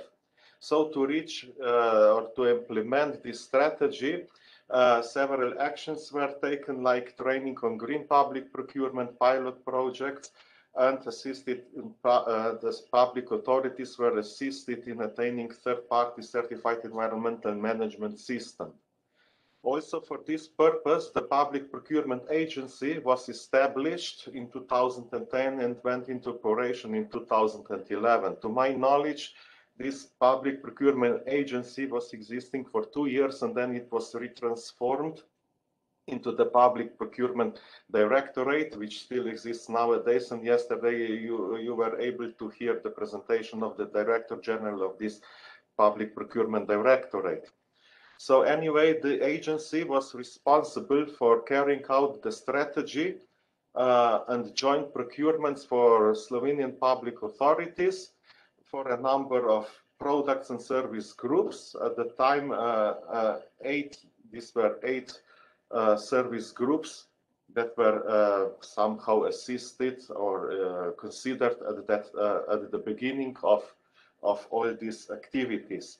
Um, the agency was also implementing uh, green public procurement in its procurement of electricity, paper, office, IT equipment, and vehicles. and this built upon the work done by the Ministry of Public Administration to introduce green public procurement as part of central purchasing in Slovenia. So the agency in the, purchased on behalf of about uh, 130 uh, procurers uh, in the public in the public sector. So, and what I'm going to present here today is a good practice from this kind of activities. And there is a doc, also this uh, good practice document was uh, published in 2012. And it is also briefly mentioned in the third edition of a handbook on green public procurement uh, published by the European Commission. And in this document, uh, uh, a scan of uh, part of each is part of it is shown here on the left-hand side of the screen. there were two subject matters considered. One of it was green electricity, and the other one was, were green vehicles. Regarding the green electricity, uh, there were there was green public procurement considered, uh, uh, but no LCC uh, methodology was implemented. So I will focus only on green vehicles where also the LCC uh, was included. Uh, as I said, in this particular practice, the subject matter was road vehicles. And at that time, all vehicles must meet the Euro 5 emission standard or equivalent. And the maximum CO2 emission range was from 150 to 180 gram per kilometer for different kinds of, uh, of cars and vehicles in general. Uh, there were, besides the operational life costs, uh, the awarding criteria were also um, considering the service network, the safety and environmental equipment, gear shift indicator, warranty period, delivery time, and tire pressure monitor. So uh, here is the equation given, uh, which was also shown yesterday by two presenters. And it is how, in this case, the operational lifetime costs were calculated. As you can see here, uh, regarding the emissions, CO2 is considered as a greenhouse gas, and also the NO2 uh, gases are considered that could also that are also have a greenhouse effects, and this uh, the influence of NOx is much higher compared to CO2. That's why also the prices here of NO2 are much uh, in gram per kilometer are much higher compared to the prices coming uh, from CO2. And also, which is also considered here in this equation is the particulate matter. All these values here, which are shown in the equation, are uh, coming uh, from the Clean Vehicle Directive, which was considered in uh, calculating the operational life cycle costs. Uh, as mentioned here, then further, uh, in 10 years ago, the road transport vehicles were responsible in the EU for about 26% of final energy consumption and about 24% of CO2 emission.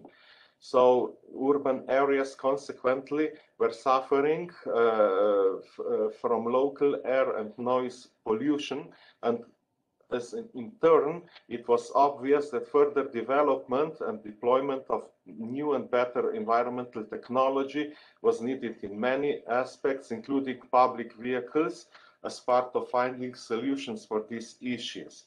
Um, the Clean Vehicles Directive uh, also provided a common methodology for taking greenhouse gases emission and energy consumption into account while making these calculations. When uh, these activities were made and uh, during this uh, procurement procedure, it was possible to achieve that the decrease in emission uh, while purchasing these, they say, green cars varied uh, varied from 3 gram per kilometer to 45 gram per kilometer per vehicle. So it means that a sufficient uh, sufficient decrease in emissions was achieved by considering LCC uh, LCC approach. Uh, regarding the practice that I am describing here, uh, the most economically advantageous standard achieved the following score. So more than 80% was going to the operational lifetime costs. And then, as you can see here, there were also uh, points were also given to some, to other award criteria, which were including in this uh, in this public uh, tender. So uh, to uh, and then I will here explain you what was also going on further in this uh, in this uh, field. So as it was also part, uh, it was also mentioned yesterday. Then in the year 2011, uh, the Slovenian government uh, actually adopted a decree on green public procurement, uh, which stipulated 11 groups of products and service groups that the public buyers had to consider um, had to consider in uh, in the green public procurement.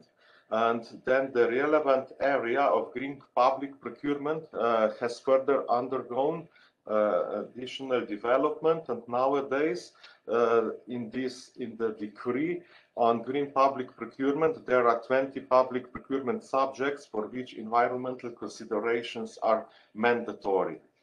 And also through the years, I could also report on other examples uh, of, uh, of public procurements in which the LCC uh, is considered, but here is only one very, uh, I could say, very fresh uh, example in that includes life cycle methodology, that is life cycle costing, and this is a screenshot of the portal of public procurement in Slovenia, showing that there was a tender issued for the purchase of uh, vehicles, um, and this uh, and the tender was issued by the Ministry of Public Administration, as I said, regarding the purchase of, a, uh, variety of vehicles, and also in this case, the LCC was considered. So this is all from my side, and uh, I will be glad to answer to your uh, to your questions. So thank you very much.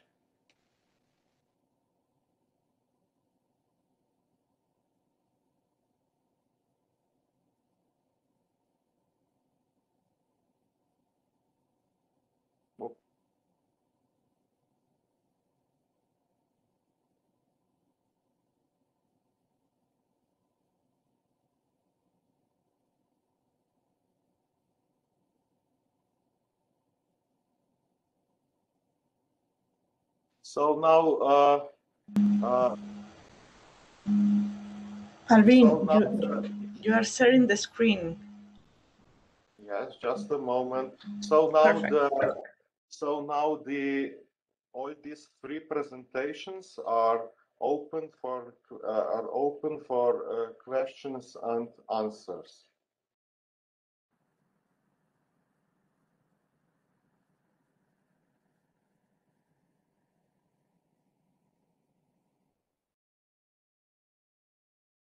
Are there any are there any questions from the from the uh, from the participants?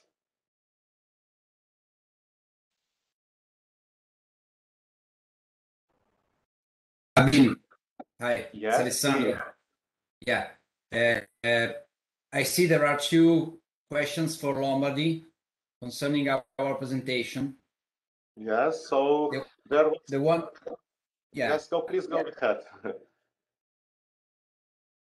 Ah, okay, yeah. One one was uh, about the availability to share information concerning the the expo exhibition. Of course, we we are available. Uh, you can you can uh, take me as reference and write to my address. You find it on the on the um, on the presentation at the, in the first uh, slide, uh, and of course uh, the website uh, can provide you with a lot of uh, documents. The, the, the text is in Italian, but then you find the, the PDF also in English. and then there is a question concerning the, a nice question concerning the music, uh, the Eurovision. Uh, honestly, I'm not up to date with respect to this event. Uh, now I know that we have to host this this event next year in Milan. Um, mm, I cannot answer you correctly, but uh, for sure some good practice will be applied. But consider that Expo 2015 was really a huge event because it was one square kilometers, uh, the area, and we received millions of visitors. So it was really, I think Eurovision will not be at the same level, but uh, um, we have also produced here in, in our region an internal guideline for events, for the organization of events, perhaps, perhaps even smaller. And so we, we I, I hope and I think also with the Milan municipality, we are going to use that uh, guidelines and that, that experience.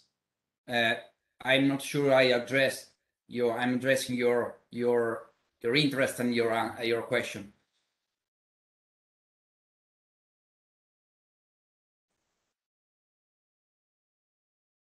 Okay, thank you very much, Alessandro, for uh, for your uh, replies to the questions. And there is also a question uh, for Jolanta. Yes, uh, yes, Albin, I see I can read and try yes. to answer. Yes, thank okay. you, Adam. You are so active with the questions, and actually, it is very nice to discuss. And what you wrote that uh, very important. Ah, okay, this presentation. Thank you very much. But what do you think about the consolidating and centralizing green procurement processes? So to answer to this question is uh, very for me it's very easy because in this questionnaire or in the survey uh, was the question and and they made the, the, the conclusion and that that actually we are lacking centralized or institutions which uh, coordinates uh, green public procurement and one of the conclusions was from this report so i think is uh, yes it would be nice to have such consolidated or or and centralized green procurement process is it more hmm. profitable for the institution or for the community and also for the environment? I think uh, this is for all stakeholders. Uh, and of course, first of all, for the environment, people are also part of the environment. And of course, institutions and for, for communities. And actually, in our country, our, our um, citizens or our communities, smaller or bigger, they are becoming more and more greener and they are demanding more and more greener products. And I think it is uh, it is that just um, we're maybe, I suppose, and we will discuss with our stakeholders from national authorities and uh, they about their maybe problems and uh, what what the, the main reason because people they are active citizens or regions, they are active in in in being greener, but something is struggling with the demand and supply. And this was like, hey, the private companies they indicated that there is no demand, and public institutions they say that no supply. But it's not true because something is maybe I, I would say that we have very good uh, background and basis and legislation in the country, but still the process is uh, struggling with the green public procurement. Okay, thank you very much. And there are, as I could see also in the chat area, there are two questions for me. So the first one is from Adam regarding uh, the use of hydrogen as a fuel for cars and large cars. As I could say at the moment in the public transportation in Slovenia, in certain cases we are using methane as a, uh, as a fuel for local buses, at least it is so in Ljubljana.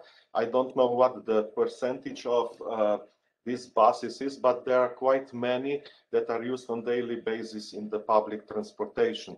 Regarding hydrogen, we have two hydrogen fuel stations in Slovenia that have already been introduced, but I am afraid there are still no hydrogen driven cars around, or, uh, or at least there might be just a few.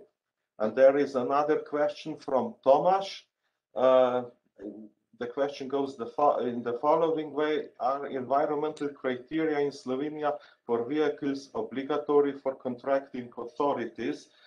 I think that when the uh, when the public authorities uh, issue tenders, I think that there, as it was explained yesterday, there is a certain percentage of cars that must meet uh, these criteria. So I think if you want to participate in these tenders, then you have to uh, consider and fulfill this uh, the, these criteria. So in a certain case, in a certain way, this means that it is that it is obliga obliga obligatory to uh, to uh, if you want to uh, if you want to participate in tenders and to win a bid.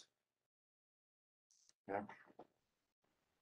So now there is there uh, for regarding the second part of presentations, I in this uh, live discussion board there was no question, so I think we can move now to the to the to the presentation, uh, which will be given uh, uh, which will be given by Mrs. Milena Basta Trtnik, and the title of her presentation will is challenges of public procurement in practice. So before giving her the floor, I will briefly introduce Ms. Basta Trtnik. Uh, Milena Basta Trtnik is a lawyer and expert in the field of public procurement, concessions, public-private partnerships, business operations of public law entities, and project management. As a former long-term consultant at the National Audit Commission and with several years of work within the consulting company, she has a lot of experience and knowledge in the mentioned fields. So Ms. Basta Trtnik, please go ahead with your presentation. Thank you.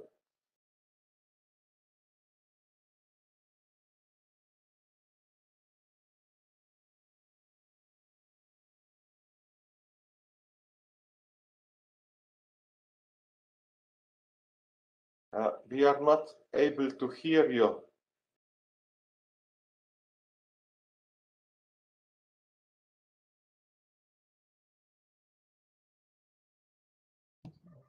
Do you hear me now? Yes, now I okay. can hear you well. I'm so sorry. I just, I was too, um, too quick. Okay, hello again. Thank you for the introduction. I will talk about the challenges of the public procurement in practice. I will concentrate in the one part on the green public procurement, and I will look a little bit from the point of view from the legal organization. I believe that you have already heard uh, heard uh, how the system and the green public procurement system in Slovenia works.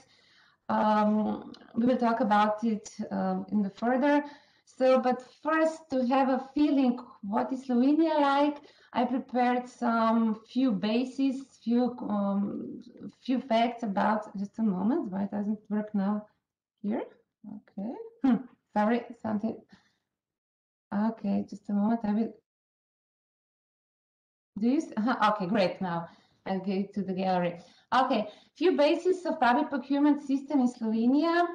Uh, we have implemented two directives in a one public procurement act. It's called PPA3. Um, before in 2016, before that we have two separated um, acts. One was from the public sector and one was for infrastructure sector. So I think that now it's much better to put it all in a one um, one act, one law, um, because it's much more use, um, easier to use um, one act, and especially in in the um, institutes where there are very similar regulation on from the bo for both fields of public sector and infrastructure sector. Uh, I believe that we're a little bit specific about the regulations. Uh, we have six regulations um, decrees on the public procurement field. Uh, one was one is green public procurement. Then there is also financial instruments and common contracting authorities. So um, specific in Slovenia is that uh, we like to formalize everything, um, a lot of things, and therefore we have so many regulations um, in the public procurement field. Um, we are we have only two million citizens, but we have over three thousand contract contracting authorities. Um, that means that each school, kindergarten, museum is a contracting authority, has a status of contracting authority, and therefore is obligated for itself to um, to manage a public procurement procedure, which sometimes can be um, a little bit challenge. Around 11.5% of GDP um, is the value of public procurement. Um, that is 5.5 billion euro. So that's an interesting amount amount of money. Um, so especially now when the crisis, last year crisis um, regarding COVID situations in Slovenia, we do have um, some specific orders, and I believe that um, supervision organs will look about and check it. Uh, was it all um, by the by the law, by the rules? Uh, we have around 7,000 public procurement procedures per year, and that's also a big amount because we have um, pretty low estimated values for using the Public Procurement Act, um, that is uh, 20,000 euros for goods and services, 40,000 euros for, for construction. Um, now it is um, it is a proposal of a change of the Public Procurement Act, which will little bit um, higher the values on 30,000 euros per goods and um, services. This is a little bit specific. Um, I believe that it, that is common for more Eastern Europe, um, that the countries do um, regulate the public procurement procedure um, um, in the pretty in the much lowest way that it is that that it that it is the value that the, the directive must be implemented and used. So therefore, Slovenia has twenty thousand, and if you know that to to to, to two hundred thousand is the estimate is the estimated value is the um, treasure holds to use a directive, we are much lower there than, and um, that, that's probably the reason why 7,000 public procedures per year um, is a number that is in Slovenia um, regular. Um, I will talk a about, about supervision, um, just two slides. Um, so the primary, primary um, independent um, organ body um, that, that that that can review public procurement procedure is National Review Commission. Two years ago, one and a half until one and a half years ago, uh, we were the only country in European Union that did not provide a claim or some kind of fact um, um, against the decisions of public procurement procedure. So in uh, 2019, um, the change of Public Procurement Act um, was delivered. So that now there is a possibility to file an administrative claim to the administrative court, but there is not really much effective because it is not suspendable. So if it's not suspendable, it cannot, uh, it, it, it, doesn't mean that it can, um, um, that, that, that, it, that, it, can immediately prevent uh, breaches or Ill Ill illegality of the decisions of the um, reviewing body. Um, we have also court of audit. Um, some ex-president told that this is a toothless tiger. Uh, why toothless tiger? Because they um, they they control an economic, efficient, effective use of public funds, but they also do not have um, some kind of instruments to immediately prevent the breaches, the um, or the inefficient, ineffective use of public funds. So there are all um, funds. There are also the um, only an opinions. So um, it is not really uh, some kind of instrument that is really um, effective in a moment. Uh, Anti-Corruption Commission um, has jurisdiction to inspect suspicion of alleged corrupt conduct and other oh irregularities, but also the court of audit does not have some um, instrument that can immediately um, breaches. So um, it also there are also uh, opinions of the Anti-Corruption Commission, and it's more like a hygiene instrument um, organ than something that is really effective in uh, real life. Um, I um, I have to prepare something about uh, digitalization in public procurement. I was asked, asked, so I believe that you already spoken about it, how it is in Slovenia. I have listened before um, today a little of the uh, some of the presentations and um, Slovenia is pretty um, innovative in uh, digitalizations of the public procurement procedures per se, we'll say, but um, we have a lack of digitalization regarding the green procurement. So um, I will talk about later. First, let's see how it is um, where to um, publish the public procurement. Uh, we have an electronic system uh, for publishing public procurement procedure. It's called the Portal of Public Procurement. Um, there is a website, so a link, you can see it on the website if you want to.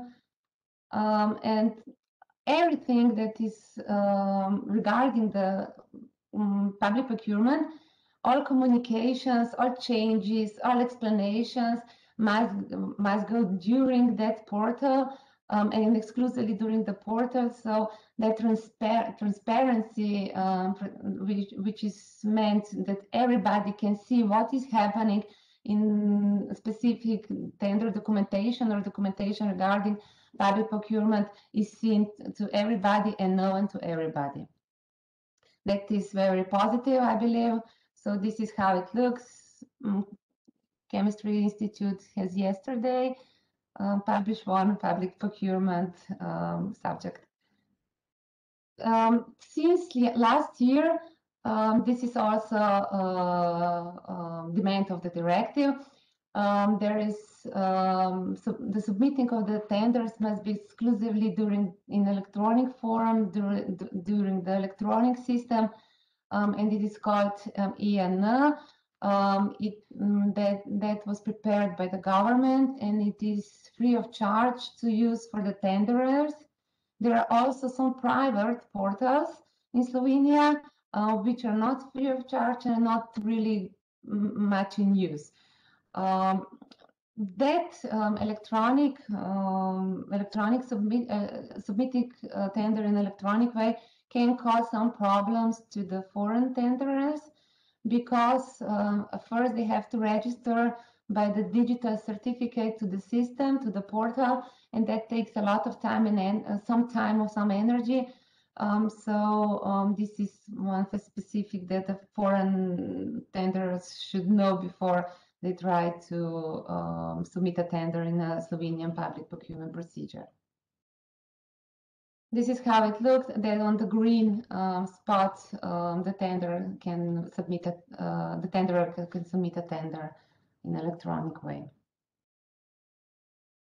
Um, I believe that a lot of countries are very um, interesting, uh, interested in our um, portal that um, that shows that, that shows the amount of money, that shows the transparency of spending a public money um, during the ERAR, it's called ERAR um, system, and then you can see almost all transactions of the public body in from 2003.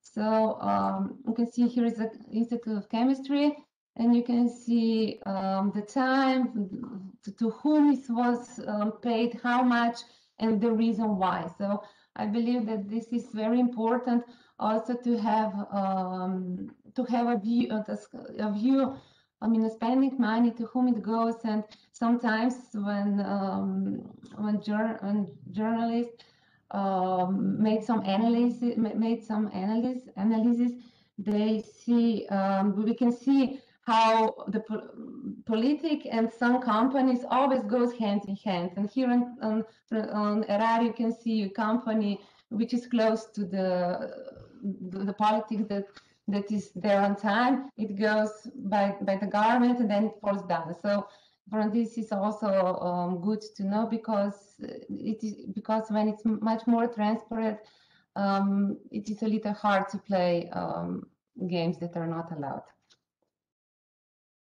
Okay, now um, I will have some words about green public procurement in Slovenia. Um, in 2017, we have adopted the Green Public Procurement Regulation. I believe that Sasha Matas told you yesterday about it. Um, and um, what is specific is that it is mandatory, in, use of it is mandatory in Slovenia. It is obligated to use for 20 subjects of public procurement, such as food, constructions, cleaners, electronic devices, clothes, energy, toilet flushes, and so and so.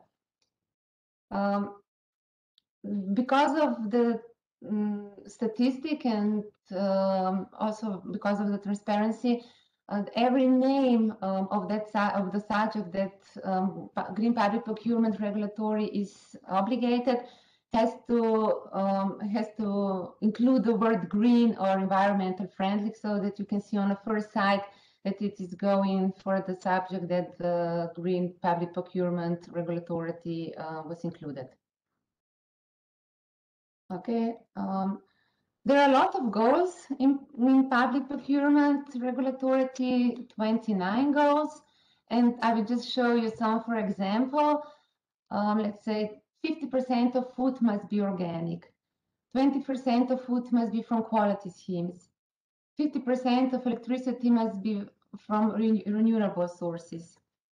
100% of computers must be most energy efficient.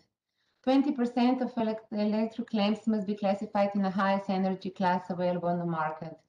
The same it, it goes for the tires um, for the vehicles. So there are goals uh, stated in a regulatory which, which contracting authority should meet and should demand.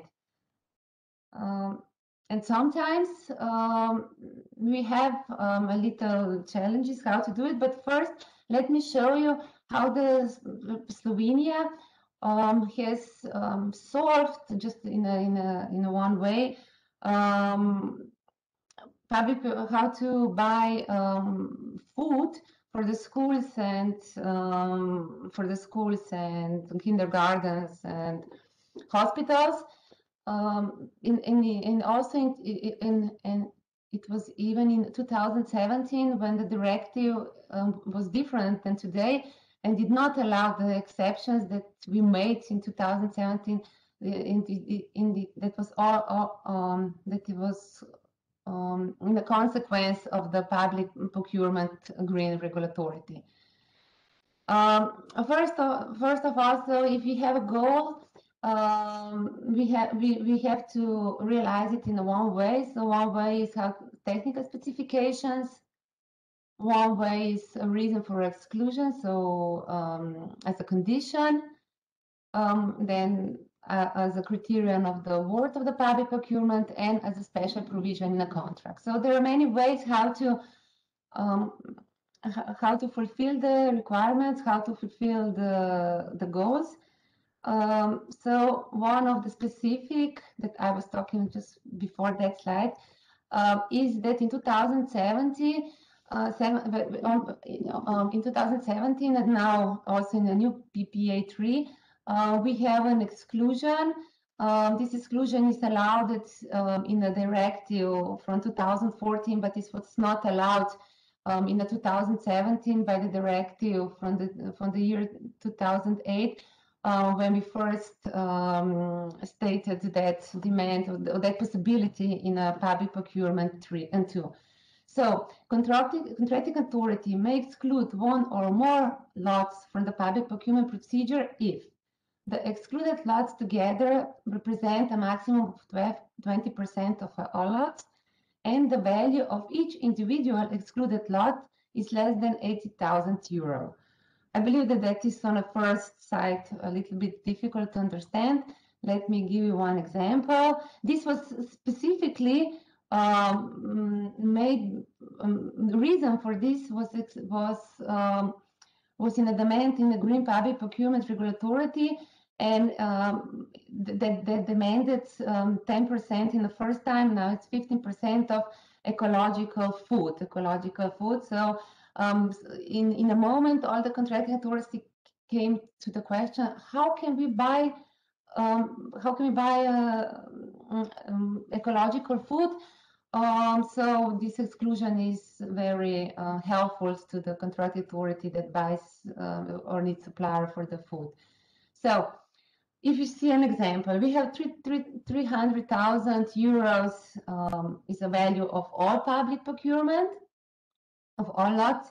What is lot? Lot is uh, um, is a finished part of the subject of the public procurement, which can be submitted independently. So the lot is a um, is a, is, is a, uh, if the if the subject by procurement is divided to lots, it means in a in the practice that there are a little smaller subjects of, of, of public procurements which can be um, which can be um, submitted and um, delivered separately and independent regarding all the, the subjects. So if we have a subject divided into six lots, let's say one lot is 100 euros, let's say meat, okay? Two lots value 7,500 um, um, euros each. Um, let's say this is um, common food like kind of flour and salt and everything. And the other lot is, um, I don't know, chicken meat if you want to. And then we have two lots value 25,000 each. And that two lots, the second, the last one, each lot is worth less than 80,000 euros. Together, they worth 50,000 euros, which is less than 20% of all the value of the subject of the public procurement. So that means that first three lots must be published in a portal, um, um, public procurement portal, but last two lots can be ordered directly without compliance of any of the public procurement rule. So um, this is a possibility for a contracting authority um, to buy um, local food, local ecologic food.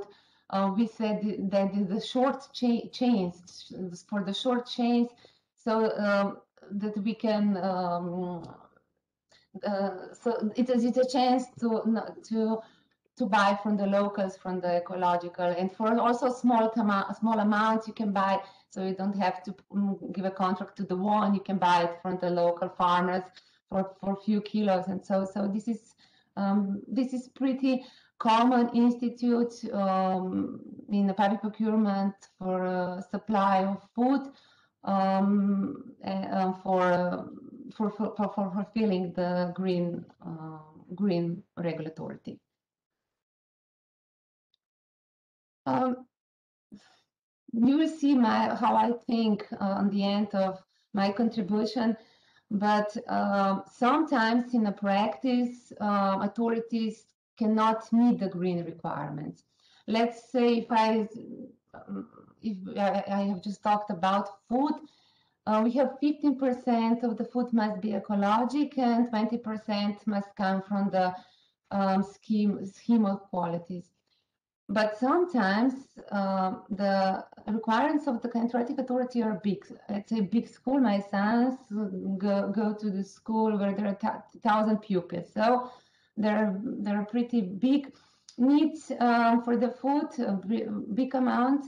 And if you want to put in the short chain, as I talked before about that um, excluded lots, um, there are there are not uh, there are not so many farmers um, that um, that that can supply um, the school um, continuously um, and for sure. So sometimes um, this uh, how would say um, it doesn't come to the to to to, to the center to the beat of the this green procurement is because it is much easier for a contracting authority put, to put this on a that publish that lots ecological I don't know fruit and vegetable on a public procurement on the portal ENA and the big suppliers which buys food uh, which buy which big suppliers which buy food in Italy or Spain or other country for the bourses for the big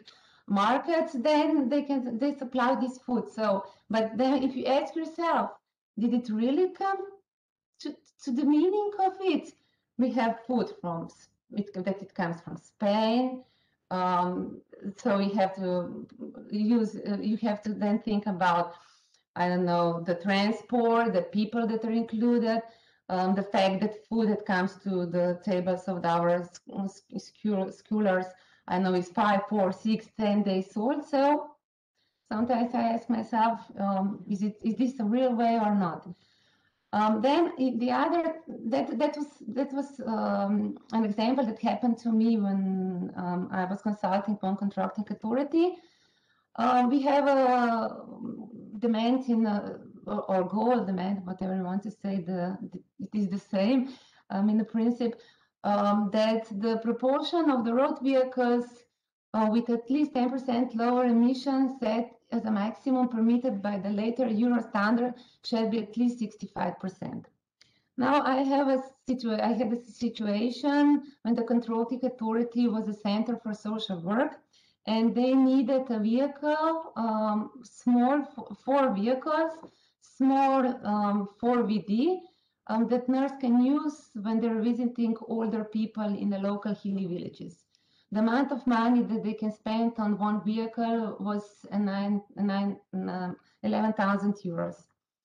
So the green requirement actually in practice means that three or four vehicles must be hybrid vehicle, hybrid. So hybrid car is around 30% more expensive than the regular one. Um, therefore, only three cars instead of four they can afford, they can buy. And on the market, they are not so small and strong in apostrophic. 4VD VD hybrid cars that nurses actually need for driving on tight narrow streets. There are some 4VDs, but these are much bigger. They spend much much more much more fuel and it, they're not so economic and some some ha handfuls for use.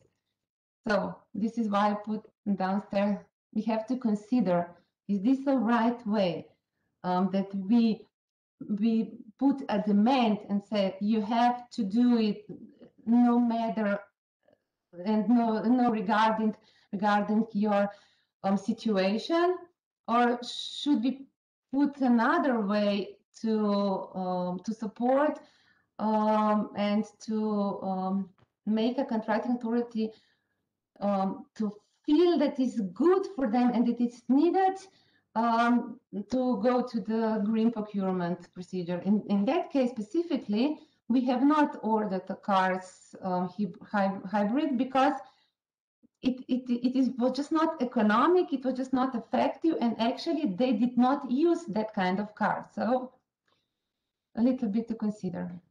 Then another challenge that I see in practice is uh, that contracting authority do not always possess a knowledge for estimation of suitability of PRUS certificate. If you say, here's the one one case, one demand that is regarding the cotton, and in um, to go to the goals to the um, to the green procurement regulation there are um, that is, it is not allowed that the cotton um, has some of the contains some some of that. I cannot even exactly read it right because I'm a jurist and um, probably you understand you all understand because you came from the chemistry field but you can see there are a lot of demands um, what kind of cotton or what should cotton not contain. So um, sometimes um, the contracting authority um, do not have a knowledge and um, to see to find out is the certificate that it was submitted in a tender is the right one. Does it show that it did not um, include, I don't know, heptachlor? and and and then it comes only to some paper. Okay he's got a paper. It's some kind. It feels it looks very i don't know specific uh, very chemistry whatever. And it, and it takes that um, tender as valid tender. So again in the practice do we know and that that that um, that is when i said in the beginning that our country do not does not provide enough tools to help um, to help contracting authorities and also on the other side to the tenderer what that demands really need um, really means in a practice um, so that it will be easier for us to use it in a practice. Um, so if, if we're going back to that, um, what should not, what what mustn't contain contains uh, cotton is let's say method of proof is certificate and our certificate for, from an independent um, accredited institution, appropriate evidence that the requirements are met. And so, um, so different, um, there are many different way, ways to um, um, to show how the, the, the tender finds the green requirements, but still is contracting authority able to to qualify it? So this is also a problem, I think. Um, then if you say green demand for cleaners or for, for food, um, okay, we have a phase when go to the public procurement procedure, then the tender submit a, ten, uh, submit a tender, then the contracting authority looks to the certificate, looks the price, look at the price, and um, awards the public procurement.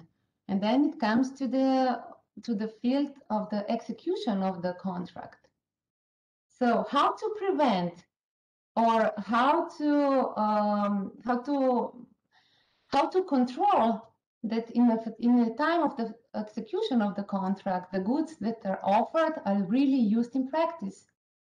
This is also one. You know, we say um, paper can um, paper can stand everything, but not really in the practice. So this is this is also one challenge. How to, um, if if we have demand, if we have regulatory, we have to get it in a real life and control it and fulfill it and um, do it in a real life. Um, so that that, that that that it means that it really means meant something.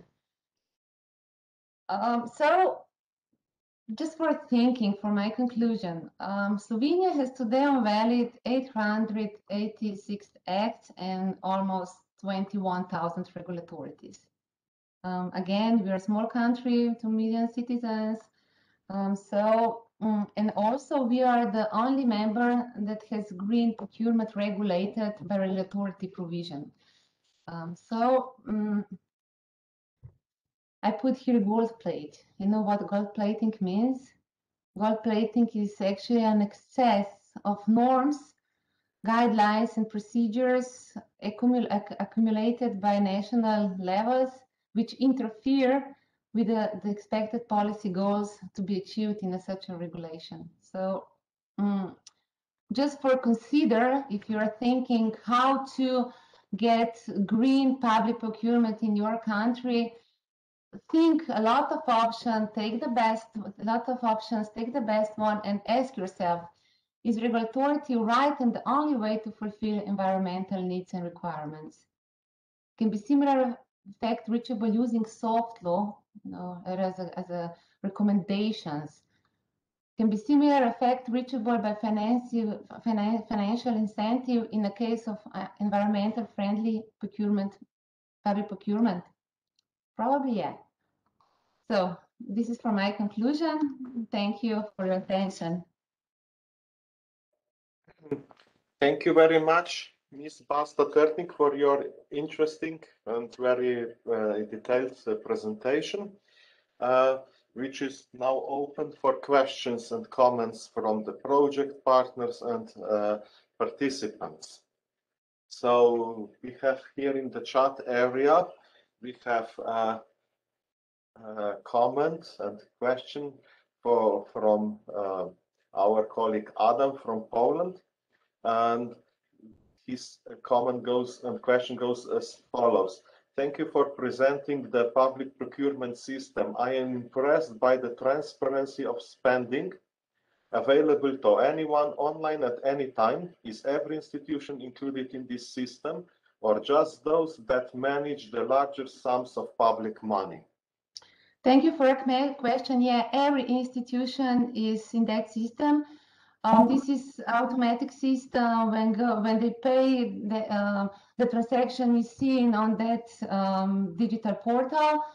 Um, the only um, the only thing that is not included are um, how I say um, contract individual contract authors or, author contract. All other contracts or, or, or other pays are seen for everybody um, actually in the moment that they, they were paid. Okay. Thank you very much. Are there uh, are there further questions?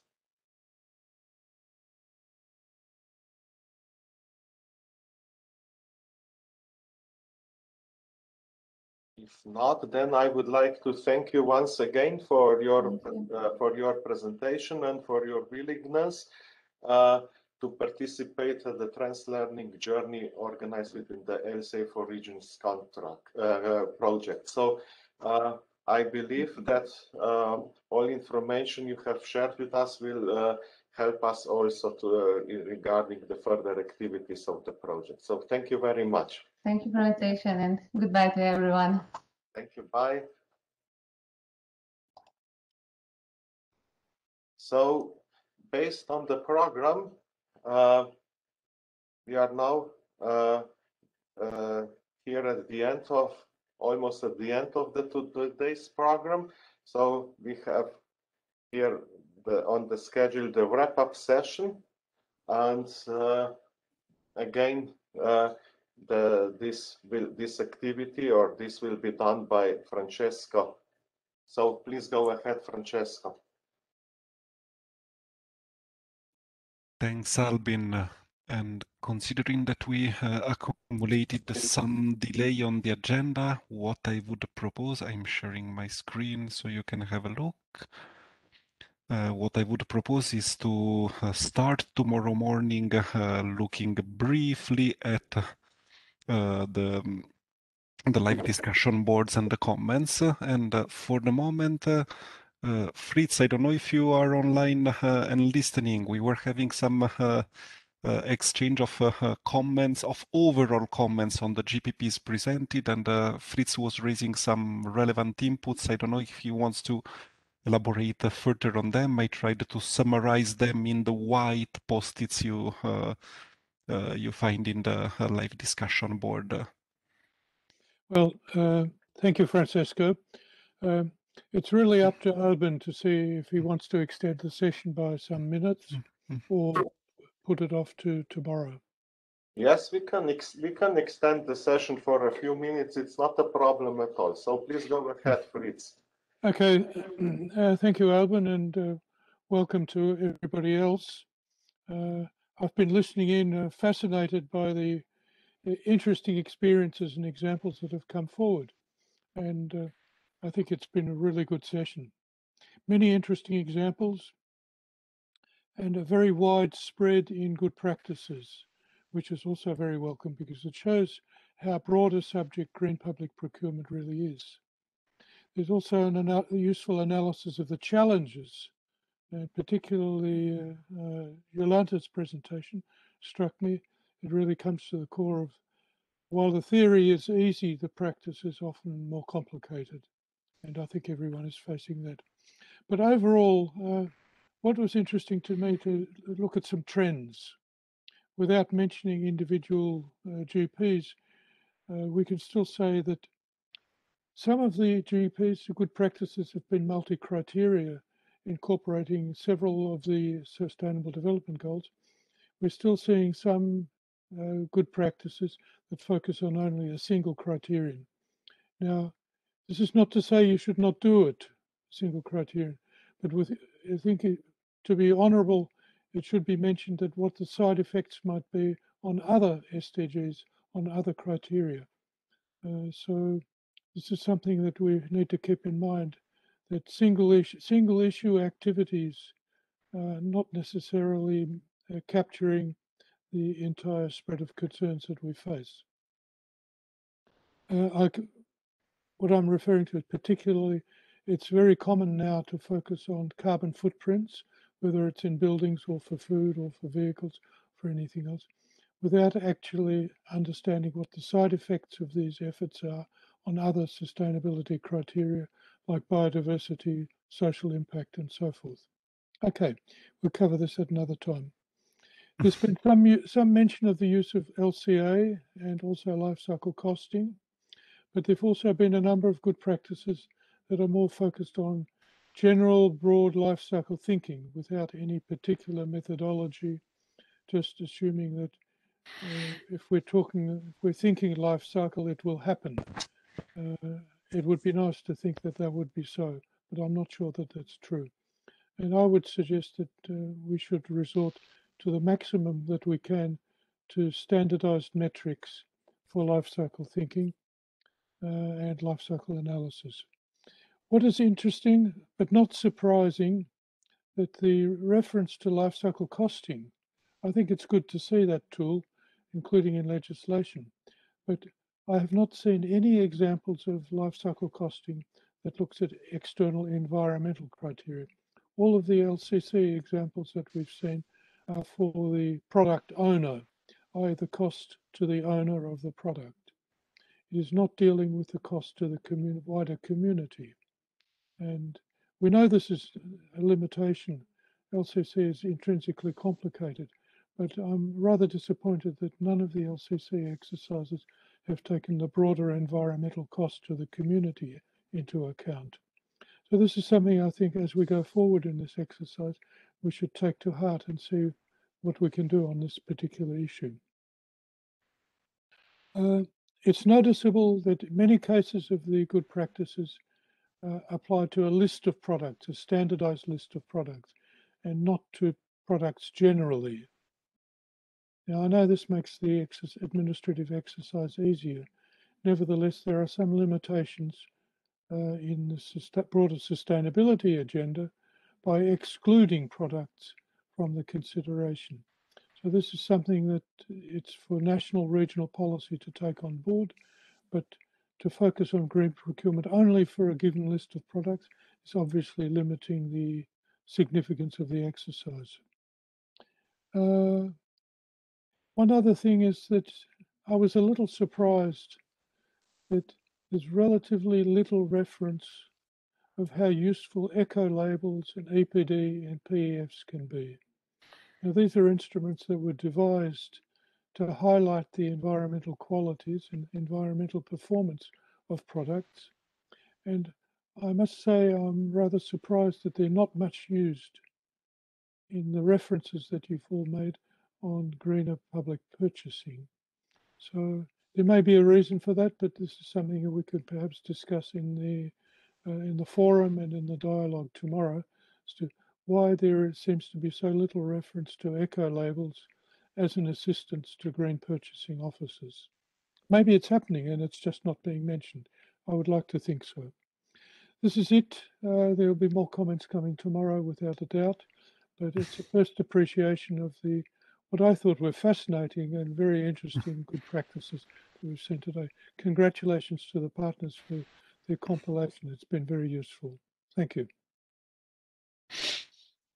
And thanks a lot, Fritz. Uh, I think we will uh, try by today to uh, export some PDF uh, highlighting at, le at least with arrows interconnections between comments like we did for the yesterday's board and to share them with you uh, by the beginning before uh, starting the uh, the three breakout rooms tomorrow for the uh, peer review session, the, the bilateral uh, breakout rooms. So uh, maybe they can feed discussions of tomorrow TLJ. And yes, tomorrow morning, Albin, if you want, you can start as today with a super short readout of the today uh, live discussion board.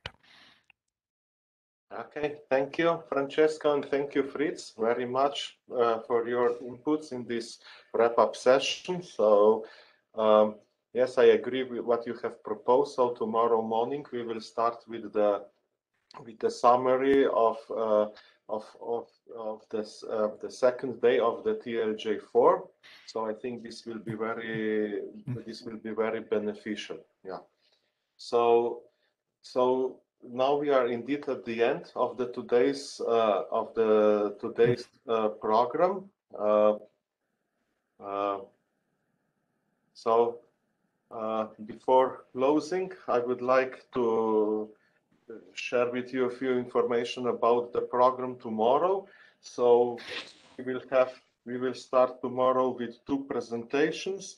First, we will get uh, first we will hear some more detail about the Keino Academy and Keino platform. Uh, this will be the uh, contribution from Finland.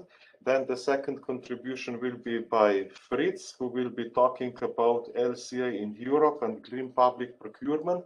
And then in the second part of the today's of the tomorrow's uh, program, uh, uh, we will um, then uh, spend time with the Slovenian policy context and then the and then the peer review session. So uh, we will start the program uh, tomorrow at 10 a.m. Uh, and you will all receive uh, the, the link for the WebEx platform as well as uh, links for the live uh, discussion boards in the early today in the early afternoon. So to close the, today's program, I would like to thank all the presenters of good practices. It was indeed a very interesting session. I also thank uh, Miss uh, Basta Terting to give uh, to give her talk. I also thank the uh, I also thank Francesco and Fritz for the valuable comments, and I thank you all for your uh, fruitful attendance and cooperation in the event. So I wish you all uh, a pleasant after uh, pleasant afternoon, and we, I hope to see you all again tomorrow morning at 10 a.m. So enjoy the, the afternoon and have a nice day. Bye bye. Thank you. Goodbye. Thank bye. you very much. Bye. Thank you. Bye. Thank you. Bye bye.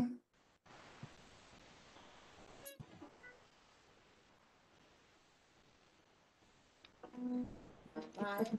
See you tomorrow.